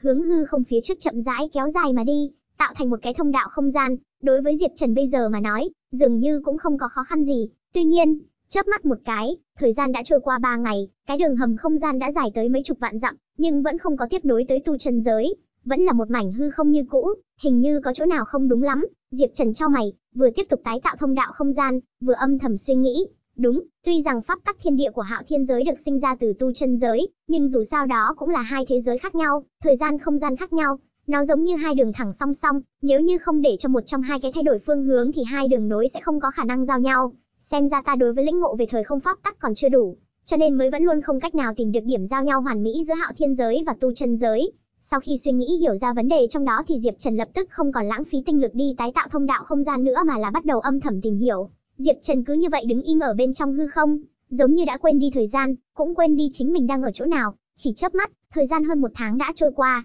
Hoắc, Diệp Trần một mực giống như một bức tượng, hai mắt bỗng nhiên mở ra, bên trong đôi mắt hiện lên một đạo ánh sáng huyền bí, trở nên vô cùng thâm thúy, giống như trong mắt bao hàm tinh thần đại hải, thậm chí cả một cái vũ trụ. Ta hiểu được, khóe miệng Diệp Trần hơi nhếch lên, hai tay lại thật nhanh kết ấn một lần nữa, ầm ầm, một cái thông đạo không gian xuất hiện ở xung quanh Diệp Trần, Tuy nhiên so với ở một tháng trước đó đã rất là khác biệt, mà là biến thành một chuỗi có kết cấu hình xoắn ốc kép, nhìn qua càng thêm chắc chắn và hoàn mỹ. Hai tay Diệp Trần chậm rãi đẩy ra, xì xì xì, sau khi thông đạo không gian được thay đổi hình thái, chậm rãi hướng về phía trước lan tràn mà đi, vẻn vẹn tiến về phía trước mấy chục mét thì bỗng nhiên giống như dụng vào vật gì đó, bỗng nhiên lập tức dừng lại, Diệp Trần lại hết sức vui mừng, đã tìm được, hắn đã cảm nhận được rõ ràng, mình đã mơ hồ đụng chạm tới bình phong của tu chân giới. Tuy nhiên, chuyện rõ ràng cũng không có đơn giản như vậy, Bành, Diệp Trần thử nghiệm muốn thông đạo không gian tiếp nối vào trong tu tu chân giới, không nghĩ tới thông đạo thế mà sụp đổ chỉ trong nháy mắt. Sau đó lại thử đi thử lại mấy lần nhưng đều thất bại, ta còn không tin, Diệp Trần đã cảm thấy buồn bực, liên tiếp nếm thử,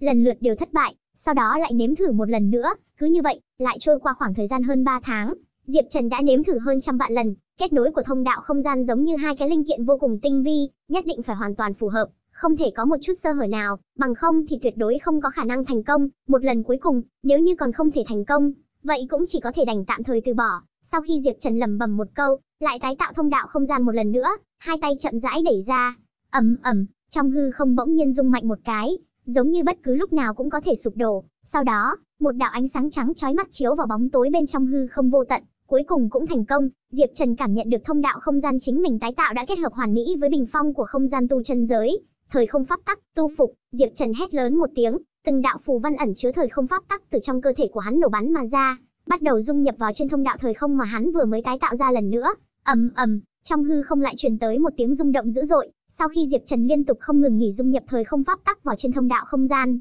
trong đạo ánh sáng chói mắt ở phía trước kia, bắt đầu chậm rãi xuất hiện một vết nứt, sau đó thì càng lúc càng lớn, càng lúc càng lớn, thẳng đến lúc thực sự tạo thành một cái thông đạo. Hô hô hô hô, thông đạo không gian vừa mới ngưng tụ thành hình, một cỗ thiên địa linh khí mênh mông từ đầu bên kia của thông đạo tràn vào bên trong hạo thiên giới một cách điên cuồng. Đả thông, Diệp Trần vui không choáng ngợp, lập tức đón linh khí thiên địa giống như sóng thần kia, chậm rãi đi vào đầu bên kia của thông đạo. Diệp Trần bước ra một bước, cả người trong nháy mắt biến mất không thấy gì nữa, hiển nhiên đã rời khỏi hạo thiên giới. Mà vào lúc này, sau khi thiên địa linh khí của tu chân giới rót vào bên trong hạo thiên giới, Đám người cuồng tiên môn một mực thủ hộ ở đỉnh núi Everest lúc này còn đang lo lắng chờ đợi, chủ nhân cũng đã đi vào trong đó gần nửa năm. Làm sao còn không thấy có động tĩnh gì? Tuyết cơ đứng ở trên đỉnh ngọn núi Everest trên mặt đầy vẻ lo lắng, nhịn không được lại mở miệng nói. Đường Thanh Nhã cũng mặt mũi đầy vẻ u sầu, sẽ không phải là có chuyện gì xảy ra chứ? Trúc Minh Phi ở một bên, lại ngược lại vẻ mặt rất bình tĩnh. Mọi người cũng không cần phải quá lo lắng, trên thế giới này, đã không có bất kỳ thứ gì có thể uy hiếp được môn chủ đại nhân.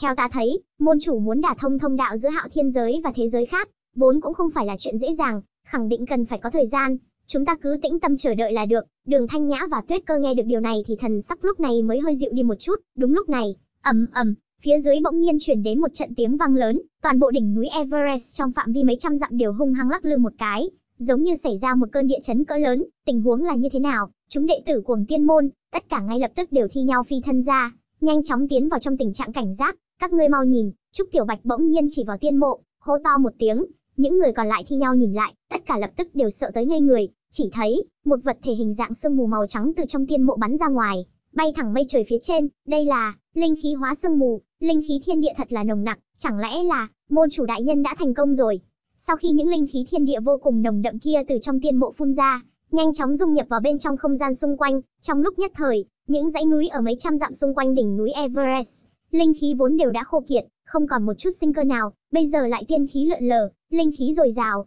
giống như tiên cảnh nhân gian. Môn chủ đại nhân thật sự đã làm được, linh khí thiên địa nồng đậm như thế, ta có nắm chắc trong khoảng một năm tăng lên tới cảnh giới Nguyên Anh, một năm, linh khó nồng đậm như vậy, cùng với pháp môn tu luyện nghịch thiên mà môn chủ truyền thụ cho thì ta chỉ cần nửa năm là đủ. Theo cái xu thế phát triển này, linh khí trên toàn cầu được khôi phục cũng ở trong tầm tay, chỉ sợ không cần bao nhiêu năm thì ngay cả cường giả cảnh giới hóa thần cũng sẽ xuất hiện rất nhiều a. Ngay vào lúc mọi người của cuồng tiên môn, tất cả đều đang vui mừng trong lúc linh khí được khôi phục lại thì Diệp Trần lúc này đã thông qua thông đạo không gian, thuận lợi tiến vào tu chân giới, nơi này là Mê La Tinh Hải. Diệp Trần nhìn xung quanh một vòng, lập tức hơi có chút kinh ngạc, nhớ rõ hắn lần trước rời khỏi trái đất, thông qua thông thiên lộ, tiến vào tu chân giới, là một nơi vắng vẻ có tên là Tinh vực Thiên Lang, mà lần này, sau khi hắn tái tạo lại thông đạo không gian thì lại xuất hiện ở Mê La Tinh Hải. Đúng, xem ra, Mê La Tinh Hải mới là lối vào kết nối giữa Hạo Thiên giới và tu chân giới. Hạo Thiên Đại Đế sở dĩ thiết lập điểm trận pháp truyền tống ở một cái tinh vực xa xôi vắng vẻ là để che giấu tai mắt người. Ngay vào lúc Diệp Trần đang âm thầm suy nghĩ, ầm ầm,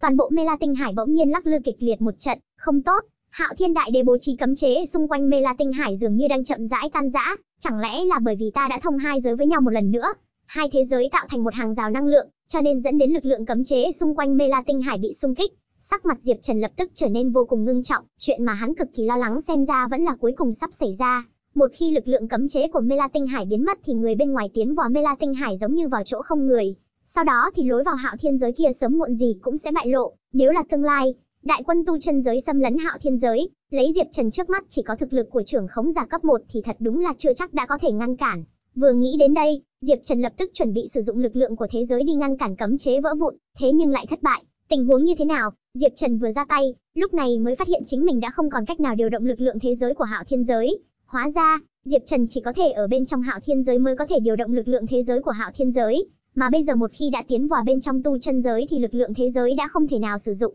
Sắc mặt Diệp Trần lập tức càng trở nên khó coi, hắn ở bên trong Hạo Thiên giới không có gì là không làm được, cũng bởi vì có lực lượng thế giới trèo chống, bây giờ trở lại tu chân giới, tương đương với lại trở về tu chân giả bình thường như trước kia. Hắn hôm nay chỉ vẻn vẹn là một tu chân giả cảnh giới nguyên anh đỉnh phong mà thôi, tuy rằng dựa theo lực lượng pháp tắc cùng với mình có rất nhiều át chủ bài, chắc là đủ để chống lại với cường giả cảnh giới hợp đạo thiên quân, nhưng cùng với cường giả chân chính đứng đầu ở thế giới này vẫn như cũ có sự chênh lệch không nhỏ. Duy nhất để Diệp Trần cảm thấy may mắn chính là, tuy cấm chế xung quanh Mê La Tinh Hải vỡ vụn, thế nhưng người bên ngoài lại không hề biết về điều đó. Dựa theo lối tư duy như trước kia, Mê La Tinh Hải cách mỗi trăm năm mới có thể mở ra một lần. Lúc 100 năm này còn chưa có tới thì chắc là không có người nào dám tùy tiện xông loạn vào đây. Xem ra ta phải nhanh chóng tìm tới Hy Nguyệt kiếp này, đưa nàng mang về Hạo Thiên giới. Sau khi trở thành trưởng khống giả cấp 1 của Hạo Thiên giới, Diệp Trần đã lĩnh hội được biện pháp phục sinh cho Hy Nguyệt, đó chính là đưa Hy Nguyệt ở kiếp này vào bên trong Hạo Thiên giới, sử dụng lực lượng thế giới của Hạo Thiên giới dung hợp thân thể kiếp này với linh hồn kiếp trước của Hy Nguyệt lại với nhau. Chỉ có điều, hắn ở bên trong Hạo Thiên giới là thần không có gì làm không được,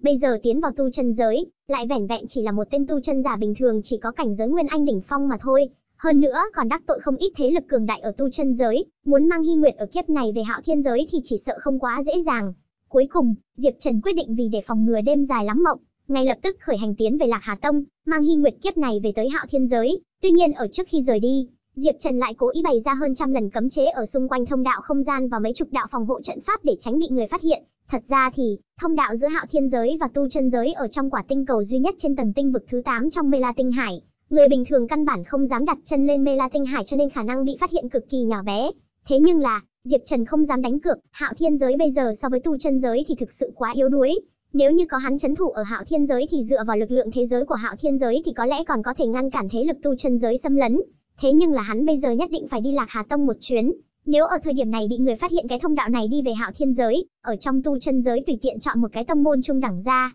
xâm lấn tới vị diện trái đất thì có thể quét ngang toàn bộ trái đất cũng như Hạo Thiên giới một cách dễ dàng. Cho nên, hắn không thể không cẩn thận, sau khi bố trí xong tất cả, Diệp Trần lúc này mới vượt qua hư không, từ tầng tinh vực thứ 8 đến tầng tinh vực thứ 7 sau đó là thứ 6, sau đó là thứ 5, cuối cùng Diệp Trần thuận lợi đi tới tầng tinh vực thứ nhất, sau đó bay ngang qua bầu trời, trước mắt xuất hiện một quả tinh cầu tỏa ra ánh sáng nhàn nhạt, nhạt, tinh cầu sơ thủy. Dựa theo mốc thời gian của tu chân giới thì bản thân bước vào Mê La Tinh Hải đến nay đã được hơn 10 năm, những người cùng ta tiến vào Mê La Tinh Hải, đoán chừng sớm đã rời đi rồi chứ. Diệp Trần âm thầm lẩm bẩm một câu, đồng thời theo bản năng phóng thần niệm ra ngoài, hướng phía quả tinh cầu sơ thủy kia quét hình mà đi, lại tuyệt đối không nghĩ tới, vậy mà phát hiện mấy chục đạo khí tức, bên trên tinh cầu sơ thủy có người, Mê La Tinh Hải cũng đã tiến vào thời kỳ im lặng, những người này làm sao không có rời đi, nếu để cho bọn họ phát hiện cấm chế bên trong Mê La Tinh Hải biến mất thì chỉ sợ không thể không tạo ra sự chấn động cho toàn bộ tu chân giới. Những người này, tuyệt đối không thể lưu. Diệp Trần vừa nghĩ đến đây, thân thể lập tức nhoáng một cái, gia tăng tốc độ lên tới cực hạn, bay thẳng về phía mấy chục đạo khí tức kia mà đi.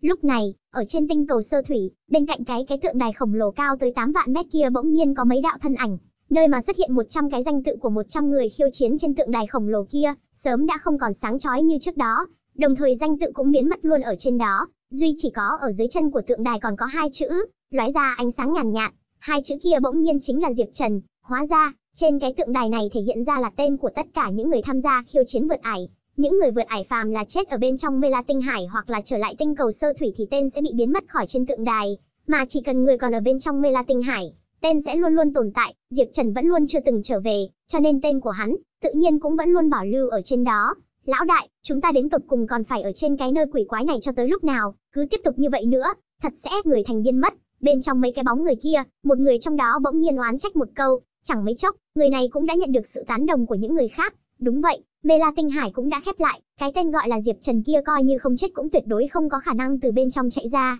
Tuyệt sư huynh vẫn còn để chúng ta thủ tại chỗ này, cái này so với lưu vong thì có khác gì a? À? Má nó, chúng ta đều đã ở chỗ này được hơn một năm, đây còn mẹ nó lúc nào thì mới được trở về a? À? Tuyệt sư huynh sẽ không quên chúng ta đi rồi chứ, hay là chúng ta đi thẳng về phục mệnh, nói Diệp Trần kia đã chết ở bên trong. Mấy người bàn tán một lúc, trong đám người, một người đàn ông trung niên cầm đầu, yếu ớt thở dài một hơi nói, ta làm sao lại không muốn rời khỏi cái nơi quỷ quái này, nhưng tuyệt sư huynh có tính tình như thế nào, các ngươi chẳng lẽ không rõ sao, nếu như chúng ta cứ trở về như vậy sẽ bị hắn giết đi, trừ khi chúng ta mãi mãi không trở về kình thương tông. Người đàn ông trung niên vừa nói ra khỏi miệng, những người còn lại lập tức thi nhau trầm mặc, đúng lúc này bỗng nhiên có một người chỉ vào trên tượng đài, cao giọng nói, các ngươi mau nhìn, danh tự biến mất, mọi người thi nhau nhìn lại, quả nhiên dưới chân tượng đài, hai chữ Diệp Trần vẫn luôn lóe ra ánh sáng, ánh sáng bắt đầu từ từ tối dần, cuối cùng hoàn toàn biến mất không thấy, trên toàn bộ tinh cầu sơ thủy lập tức càng trở nên tối tăm hơn. Ha ha ha, cuối cùng thì cũng đã đợi tới cái ngày này, tên đã biến mất cũng mang ý nghĩa, cái tên gia hỏa gọi là Diệp Trần kia đã chết ở bên trong Mê La Tinh Hải, chúng ta cuối cùng có thể đi trở về phục mệnh rồi.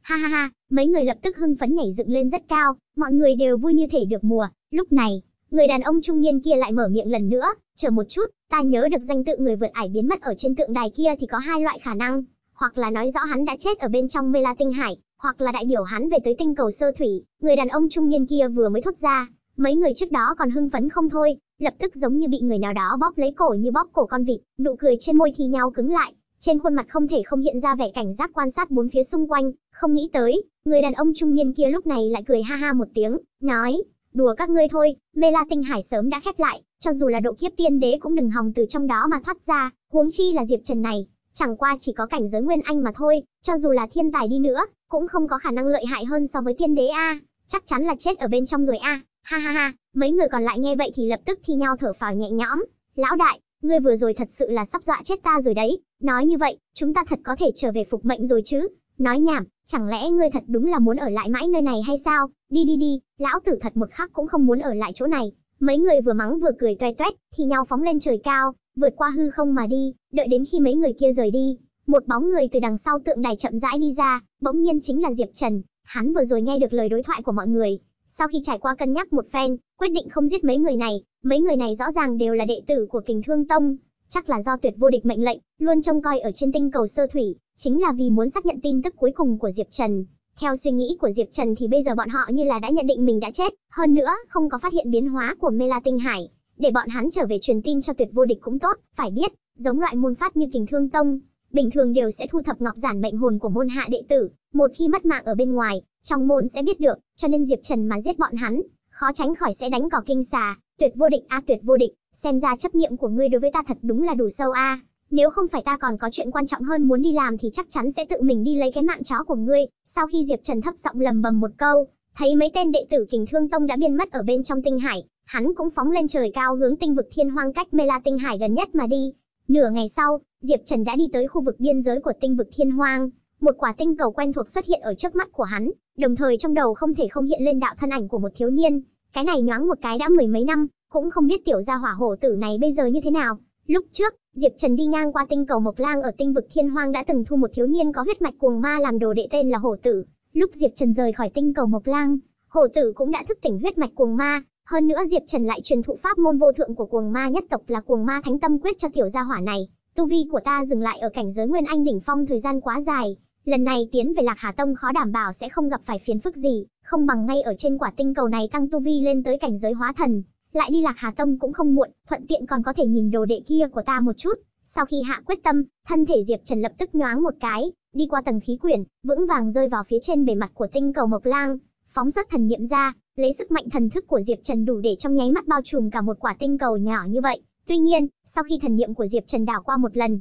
cũng không có tìm được khí tức của hổ tử. Chẳng lẽ tiểu gia hỏa này đã rời khỏi tinh cầu Mộc Lang đi tới những tinh vực khác? Xem ra ta có chút đánh giá thấp trình độ tiến bộ của tu vi hắn. Bình thường mà nói, tu chân giả chỉ có sau khi đạt tới cảnh giới Nguyên Anh mới có thể vượt qua hư không một cách tự nhiên. Dựa theo những mong đợi của Diệp Trần đối với hổ tử trước đó, có thể ở trong vòng 20 năm đạt tới cảnh giới Nguyên Anh thì đã rất tốt rồi. Mà bây giờ xem ra, tiểu gia hỏa này dường như đã vượt qua khỏi đánh giá của Diệp Trần đối với hắn. Đương nhiên cũng không bài trừ một khả năng khác, hổ tử cũng không phải là chính mình rời khỏi tinh cầu Mộc Lang, có lẽ là được người khác mang đi. Thôi, ta trước tiên đột phá đến cảnh giới hóa thần, sau đó lại đi tìm hiểu tung tích của tên tiểu gia hỏa này. Vừa nghĩ đến đây, Diệp Trần tùy tiện tìm một chỗ, trực tiếp ngồi xếp bằng xuống, bắt đầu vận chuyển thôn thiên thần công. Ngay sau đó, ầm ầm, trên trời cao, bắt đầu xảy ra hiện tượng khác lạ, trên dưới quanh người Diệp Trần cũng chiếu sáng rạng rỡ, trong đan điền, khí tức đã hoàn toàn sôi trào lên, dường như lúc nào cũng muốn đột phá. Thật ra thì sớm ở 10 năm trước, tu vi của Diệp Trần đã đạt tới cảnh giới Nguyên Anh đỉnh phòng, chờ đợi ở bên trong hơn 10 năm, chân nguyên trong cơ thể sớm đã tích lũy đến một cái cấp độ cực kỳ khủng bố, Lúc đầu ở bên trong hạo thiên giới là có thể hoàn thành đột phá, thế nhưng Diệp Trần bây giờ quả là không muốn làm tiêu hao thiên địa linh khí trên hạo thiên giới, cho nên mới cố gắng chịu đựng không có tiến hành đột phá, bây giờ trở lại tu chân giới, cuối cùng không cần phải tiếp tục chịu đựng. Lúc này mới vừa thôi động chân nguyên thì bầu trời cũng đã bắt đầu xuất hiện dị tượng, căn bản không cần để ý tới sự tồn tại của bích trướng, gần như một mạnh mà thành, một lần là xong, ầm ầm, lực lượng nguyên anh trong cơ thể của Diệp Trần bắt đầu chậm rãi chuyển hóa thành lực lượng hóa thần, trên bầu trời uy lực của dị tượng lập tức càng trở nên loại hại hơn, trong phạm vi vạn dặm xung quanh, toàn bộ bị mây mù bao phủ, trong nháy mắt, thần lôi màu tím quay cuồng không ngừng, giống như một con thần long màu tím dài tới hơn 100 mét gầm thét bay lên như thể muốn hủy diệt toàn bộ thế giới này. Những người bình thường ở bên trên tinh cầu Mộc Lang kia nhìn thấy cảnh tượng khủng bố như thế thì lập tức dọa đến thi nhau quỳ xuống dưới đất, run lẩy bẩy. Cho dù là tu chân giả có tu vi không kém, cũng bị cảnh tượng trước mắt này làm cho rung động, phải biết, cường giả Nguyên Anh đỉnh phong bình thường đột phá đến cảnh giới hóa thần thì tuyệt đối không có khả năng dẫn phát ra thiên địa dị tượng dọa người như thế. Diệp Trần đột phá tới cảnh giới hóa thần dẫn tới động tĩnh còn kinh khủng hơn nhiều so với cường giả đột phá đến cảnh giới phản hư. Răng rắc, một đạo lôi long dài tới mấy vạn mét, mang thò khí tức hủy diệt kinh người, từ trên trời cao giáng xuống dưới, hung hăng đánh trúng thân thể của Diệp Trần. Ngay cả Diệp Trần thấy cảnh này cũng không thể không đến có chút ngạc nhiên, lôi kiếp này không khỏi cũng quá mạnh đi. Nếu như hóa thần thiên quân bình thường thì chỉ sợ trong khoảnh khắc là có thể bị lôi kiếp này đánh thành cho cạn bã. Diệp Trần không khỏi âm thầm cảm khái. Nếu không phải thân thể của hắn đã ở hạo thiên giới được thế giới chi tâm rèn luyện, lôi kiếp cường đại như thế, hắn cho dù không chết thì cũng phải bị thương a. Tuy nhiên ngẫm lại cũng đúng, lúc đột phá dẫn tới lôi kiếp vẫn luôn có quan hệ trực tiếp với thực lực của người tu chân, cũng là đột phá cảnh giới hóa thần. Thực lực càng cường đại thì sẽ dẫn tới lôi kiếp tự nhiên cũng càng mạnh, răng rắc, răng rắc, răng rắc, trọn vẹn liên tiếp chín đạo thần lôi khủng khiếp đi qua, cho dù là thân thể của Diệp Trần bây giờ sớm đã cường đại tới tình trạng biến thái, cũng mơ hồ cảm thấy một chút đau. Cũng may, chính đạo thần lôi qua đi, đạo thần lôi màu tím ở trên trời cao kia cuối cùng cũng lặng lẽ rời đi, chậm rãi biến mất không thấy gì nữa, mây đen cũng theo đó mà tán đi, khôi phục trở lại bầu trời quang đãng như lúc ban đầu một lần nữa. ầm ầm, sau khi đột phá thành công tới cảnh giới hóa thần, khí tức của Diệp Trần cũng theo đó mà tăng vọt, lực lượng nguyên anh trên người của hắn cũng đã được chuyển hóa thành lực lượng cảnh giới hóa thần. Hóa thần tầng 1, hóa thần tầng 2, hóa thần tầng 3, có lẽ là bởi vì Diệp Trần một hơi bị đè nén hơn 10 năm, lúc này sau khi đột phá thì tu vi của hắn thế mà một hơi trực tiếp tăng lên tới cảnh giới hóa thần tầng 5, mặc dù không có lực lượng thế giới của Hạo Thiên giới, tuy nhiên dựa vào tu vi bây giờ của ta, tăng thêm các loại át chủ bài, hẳn là đủ để dễ dàng treo phản hư chân quân lên đánh, thậm chí là hợp đạo tiên quân yếu một chút cũng có thể có lực đánh một trận, nhưng là đối với độ kiếp tiên đế cấp bậc bá chủ kia, trước mắt vẫn còn có khoảng cách không nhỏ. Sau khi Diệp Trần âm thầm ước tính thực lực của mình bây giờ một chút, coi như tương đối hài lòng, Lạc Hà Tông của Hy Nguyệt chẳng qua chỉ là thế lực tam lưu ở tu chân giới, thực lực cao nhất trong môn phái chắc cũng chỉ tới cảnh giới hợp đạo tiên quân, không có khả năng có độ kiếp tiên đế, dù sao, bất kỳ một vị độ kiếp tiên đế nào vậy cũng là tồn tại đứng hàng đỉnh cao tại tu chân giới.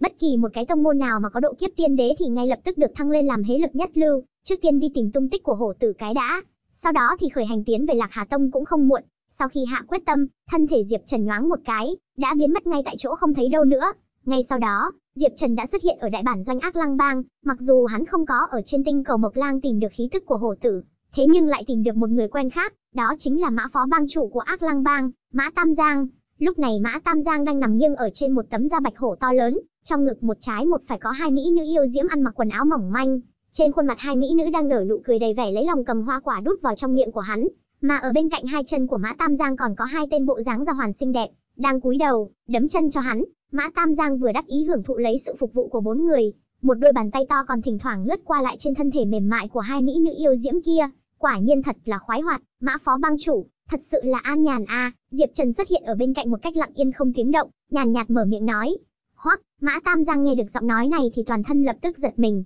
hiển nhiên là bị dọa cho phát sợ, mà sau khi hắn nhanh chóng nhìn vào nhận ra được Diệp Trần thì hai mắt chừng một cái, cả người ngay lập tức đều sợ tới choáng váng, như vậy thời gian qua đi hơn 10 năm, Mã Tam Giang vẫn là liếc mắt thì nhận ra được Diệp Trần, hết cách rồi, năm đó thủ đoạn cường đại của Diệp Trần thực sự để cho hắn ấn tượng quá sâu sắc, cả đời này hắn đều khó có khả năng quên, ngược lại là hai mỹ nữ yêu mị trong ngực của Mã Tam Giang kia hiển nhiên còn chưa ý thức được, tình huống trước mắt là như thế nào, nhìn thấy Diệp Trần đột nhiên xuất hiện thì lập tức hướng về phía Diệp Trần quát lạnh nói, ngươi là người phương nào, lại dám xông vào tổng bộ của Ác Lang bang ta, lại dám nói như vậy với Mã bang chủ, ngươi rất to gan, không muốn sống sao? Hai nữ tự yêu mị này hiển nhiên ngày bình thường được sùng ái mà làm nũng thành thói quen. Hơn nữa nhìn thấy Diệp Trần còn trẻ tuổi như vậy, khí tức dường như cũng không mạnh cho lắm. Hơn phân nửa là đệ tử của ác lang bang. Thế mà cũng dám xông vào hậu viện, mở miệng nói lời bất kính với Mã Tam Giang, thế là trực tiếp quát tháo Diệp Trần. Một mỹ nữ yêu mị trong đó sau khi quát tháo Diệp Trần xong thì dường như còn chưa hết giận, lại dựa sát vào trong ngực của Mã Tam Giang, dịu dàng nói, bang chủ đại nhân, người kia là ai a, lại dám gọi ngài là mã phó bang chủ, toàn bộ tinh cầu Mộc Lang, Ai không biết, ngài chính là trời của ác lang bang, chính là hoàng của tinh cầu Mộc Lang, hắn dám nói với ngài như vậy thì cần phải phanh thay xé xác. Sau khi mỹ nữ yêu mị kia nói xong, vẫn không quên dùng thân thể mềm mại gợi cảm của nàng ta cọ sát vào trong ngực của Mã Tam Giang, hai mắt chờ đợi để nhận được lời khen ngợi của Mã Tam Giang, phải biết, trước kia nàng ta làm như thế, Mã Tam Giang đều vô cùng tán thưởng đối với nàng ta. Tuy nhiên, lần này, nàng ta tuyệt đối không ngờ rằng, nghênh đón nàng lại chính là một cái tát vô cùng thê thảm đau đớn. Ba, sau khi Mã Tam Giang phản ứng lại, một bàn tay hung hăng tát vào trên mặt của nữ tử yêu mị kia, nữ tử yêu mị kia giống như diều đứt dây, trực tiếp bay ngược ra ngoài, nửa gương mặt gần như đều bị Mã Tam Giang tát cho nát nhừ, phát ra một tiếng kêu thảm thiết thê lương. Lão tử nên lăng trì ngươi, sau khi Mã Tam Giang gầm thét một tiếng, ở dưới ánh mắt vô cùng kinh ngạc của ba nữ tử còn lại, nhanh chóng từ trên giường nhảy lên một cái sau đó phù phù một tiếng đã quỳ dạp xuống trước mặt người trẻ tuổi đột nhiên xuất hiện trước mắt này, vãn bối đáng chết, không biết diệp tiền bối tới, không có đón tiếp từ xa, khẩn cầu tiền bối thứ tội, Mã Tam Giang quỳ dạp xuống trước mặt Diệp Trần, cung kính mở miệng nói, thấy cảnh này, vô luận là nữ tử yêu mị bị Mã Tam Giang tát bay ra ngoài hay là ba nữ tử còn lại khác, tất cả ngay lập tức đều nhìn thấy mà choáng váng, phải biết, trong mắt bọn họ, Mã Tam Giang chính là tinh chủ tinh cầu Mộc Lang, là kẻ thống trị tuyệt đối của quả tinh cầu này, cho dù là thế lực đệ nhất tinh vực thiên hoang, trưởng lão Bách Luyện môn đến đây, các nàng cũng không có thấy Mã Tam Giang phải khúm núp như thế a, người tuổi trẻ có khí thức bình thường trước mắt này đến tột cùng là thần thánh phương nào, vậy mà có thể khiến Mã Tam Giang sợ hãi đến mức độ như vậy. Diệp Trần nhàn nhạt liếc qua Mã Tam Giang đang quỳ cúi trên mặt đất, cũng lời nói nhảm với hắn, thẳng đến chính để nói, hổ tử đâu, ngoài Mã Tam Giang ra thì tất cả mấy người còn lại cũng vì đó mà sững sờ. Hiển nhiên cũng không rõ ý tứ của Diệp Trần, mà Mã Tam Giang nghe được điều này thì trong nháy mắt vẻ mặt trắng bệch, toàn thân cũng nhịn không được mà run lẩy bẩy, mồ hôi đầm đìa ở trên lưng lắp bắp nói, tiền, tiền bối, vãn bối vô năng, thực sự phụ sự nhờ vả của ngài, hổ đại nhân bị, bị người của bách luyện môn nhìn chúng, sau đó thì cưỡng ép mang về trong môn. Bốn nữ tử kia nghe được điều này, giờ mới hiểu được hổ tử trong miệng Diệp Trần lại là nhân vật truyền kỳ kia của tinh cầu Mộc Lăng bọn họ.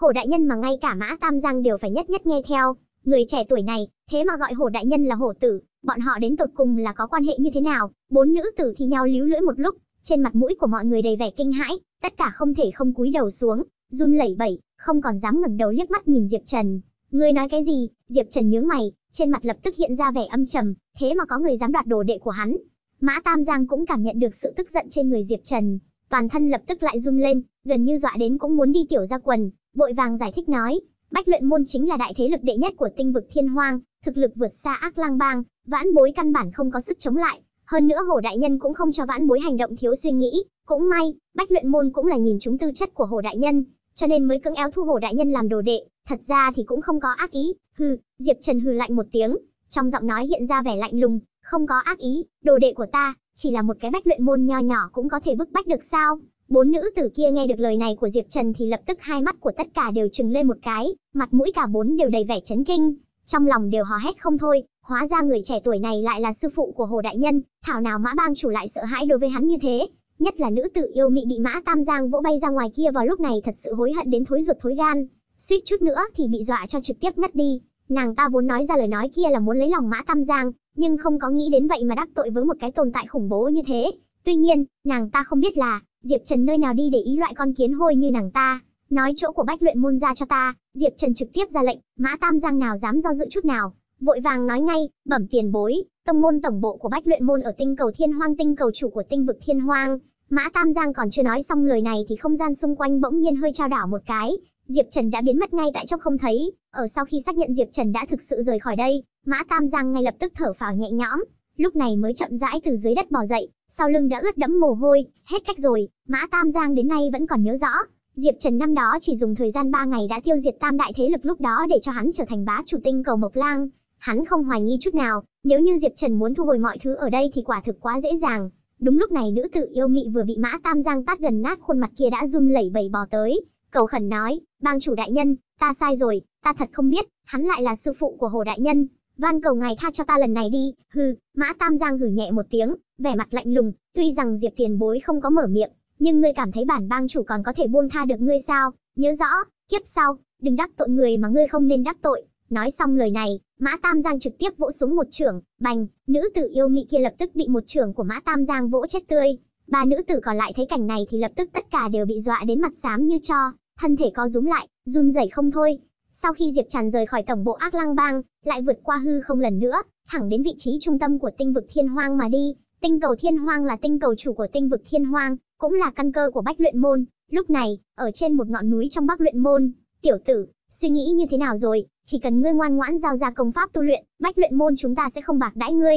Chẳng những môn chủ đại nhân sẽ thu ngươi làm đồ đệ, Bách Luyện Môn ta cũng sẽ vận dụng tất cả tài nguyên để toàn lực bồi dưỡng ngươi. Như thế nào? Người nói chuyện là một ông lão có mặt mũi hiền lành, bên trong đôi mắt lại hiện ra nét nham hiểm. Hơn nữa, trong tiếng nói còn sử dụng một chút pháp môn mê hoặc, mà lúc này, đối diện với ông lão thì là một tên thanh niên có mái tóc đỏ dáng người khôi ngô. Bỗng nhiên chính là hổ tử ở hơn 10 năm trước được Diệp Trần thu làm đồ đệ thứ hai, tuy rằng bộ dáng và thân hình biến hóa không nhỏ, thế nhưng mơ hồ vẫn còn có mấy phần khí tức như lúc trước, nhất là mái tóc đỏ kia thì chính là tiêu chí của cuồng ma nhất tộc. Hai chân hai tay hổ tử lúc này, tất cả đều bị xiềng xích trói khóa, hiển nhiên đã trở thành tù nhân của Bách Luyện môn. Hừ, uổng ta còn tưởng rằng Bách Luyện môn các ngươi là danh môn chính phái, không nghĩ tới lấy lợi gia dụ không thành thì bắt đầu đổi thành tra tấn bức cung sao? Thật sự là hèn hạ vô sỉ, ta khuyên ngươi không cần phải uổng phí sức lực, cuồng hổ ta sẽ không phản bội sư phụ, cho dù đầu nhập là môn hạ của các ngươi cũng không có khả năng giao công pháp mà sư phụ đã truyền cho ta đưa cho các ngươi. Ngươi, lão giả kia nghe được điều này thì lập tức đột nhiên biến sắc, tuy nhiên sau đó thì vẻ mặt bỗng nhiên thay đổi cười khạc khạc nói,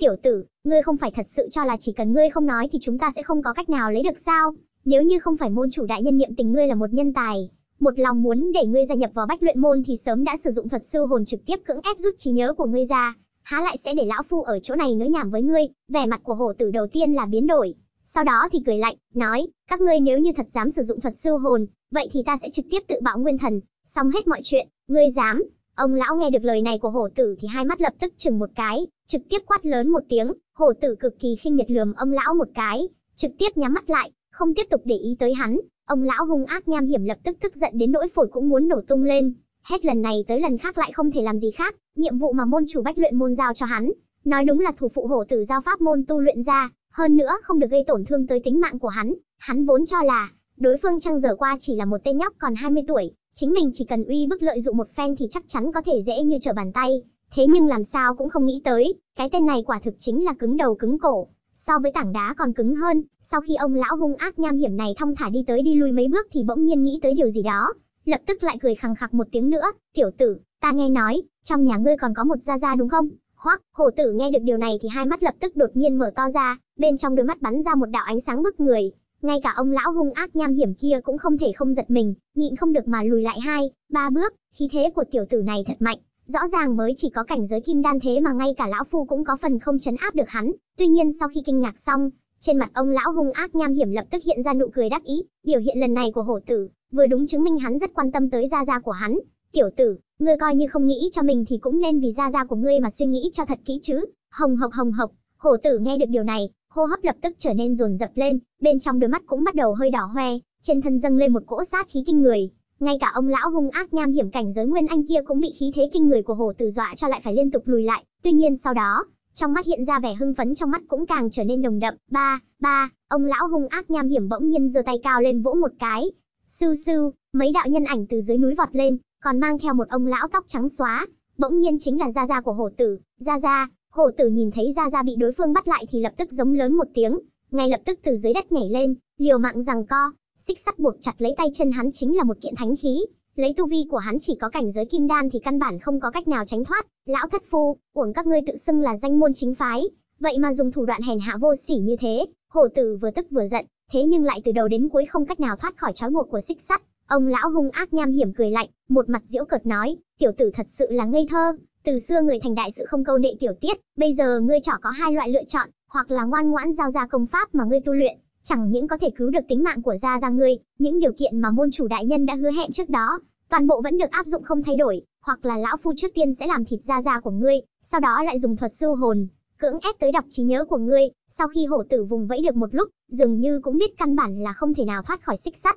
cảm xúc cũng theo thời gian trôi qua mà bình tĩnh lại, nhìn qua gia gia mình bị đệ tử của bách luyện môn áp lấy, trên mặt lập tức hiện ra vẻ do dự. Ta, ngay vào lúc họ tử nhịn không được muốn thỏa hiệp thì gia gia của hổ tử chợt quát lớn một tiếng, hổ tử, chúa cũng không thể bởi vì Ra Ra mà phản bội diệp tiền bối a. Hơn nữa công pháp tổ truyền vô thượng của chúng ta, tuyệt đối không thể rơi vào trong tay của người ngoài, bằng không Ra Ra cho dù chết cũng sẽ không tha thứ cho cháu. Sau khi hổ tử nghe xong những lời mà Ra Ra mình nói thì bỗng nhiên cắn răng một cái, sắc mặt của ông lão hung ác nham hiểm kia bỗng nhiên thay đổi, lập tức hướng về phía đệ tử Bách Luyện môn đang áp lấy Ra Ra của hổ tử, quát lớn một tiếng, hắn muốn tự bạo, mau ngăn cản hắn, đáng tiếc, đã muộn mất rồi, bành, cả người Ra Ra của hổ tử ngay lập tức vỡ tung, hóa thành một đám xương máu, ngay cả hai tên đệ tử Bách Luyện môn đang áp giải hắn cũng trực tiếp bị nổ bay ra ngoài, bị thương không nhẹ, Ra ra, hổ tử thấy cảnh này thì đầu lập tức ông ông, giống như lập tức sẽ nổ tung, đôi mắt hắn trong nháy mắt biến thành màu đỏ tươi trông rất kinh khủng. A, à, hổ tử ngửa mặt lên trời giống lớn một tiếng, huyết mạch cuồng ma trên người trong nháy mắt sôi trào lên,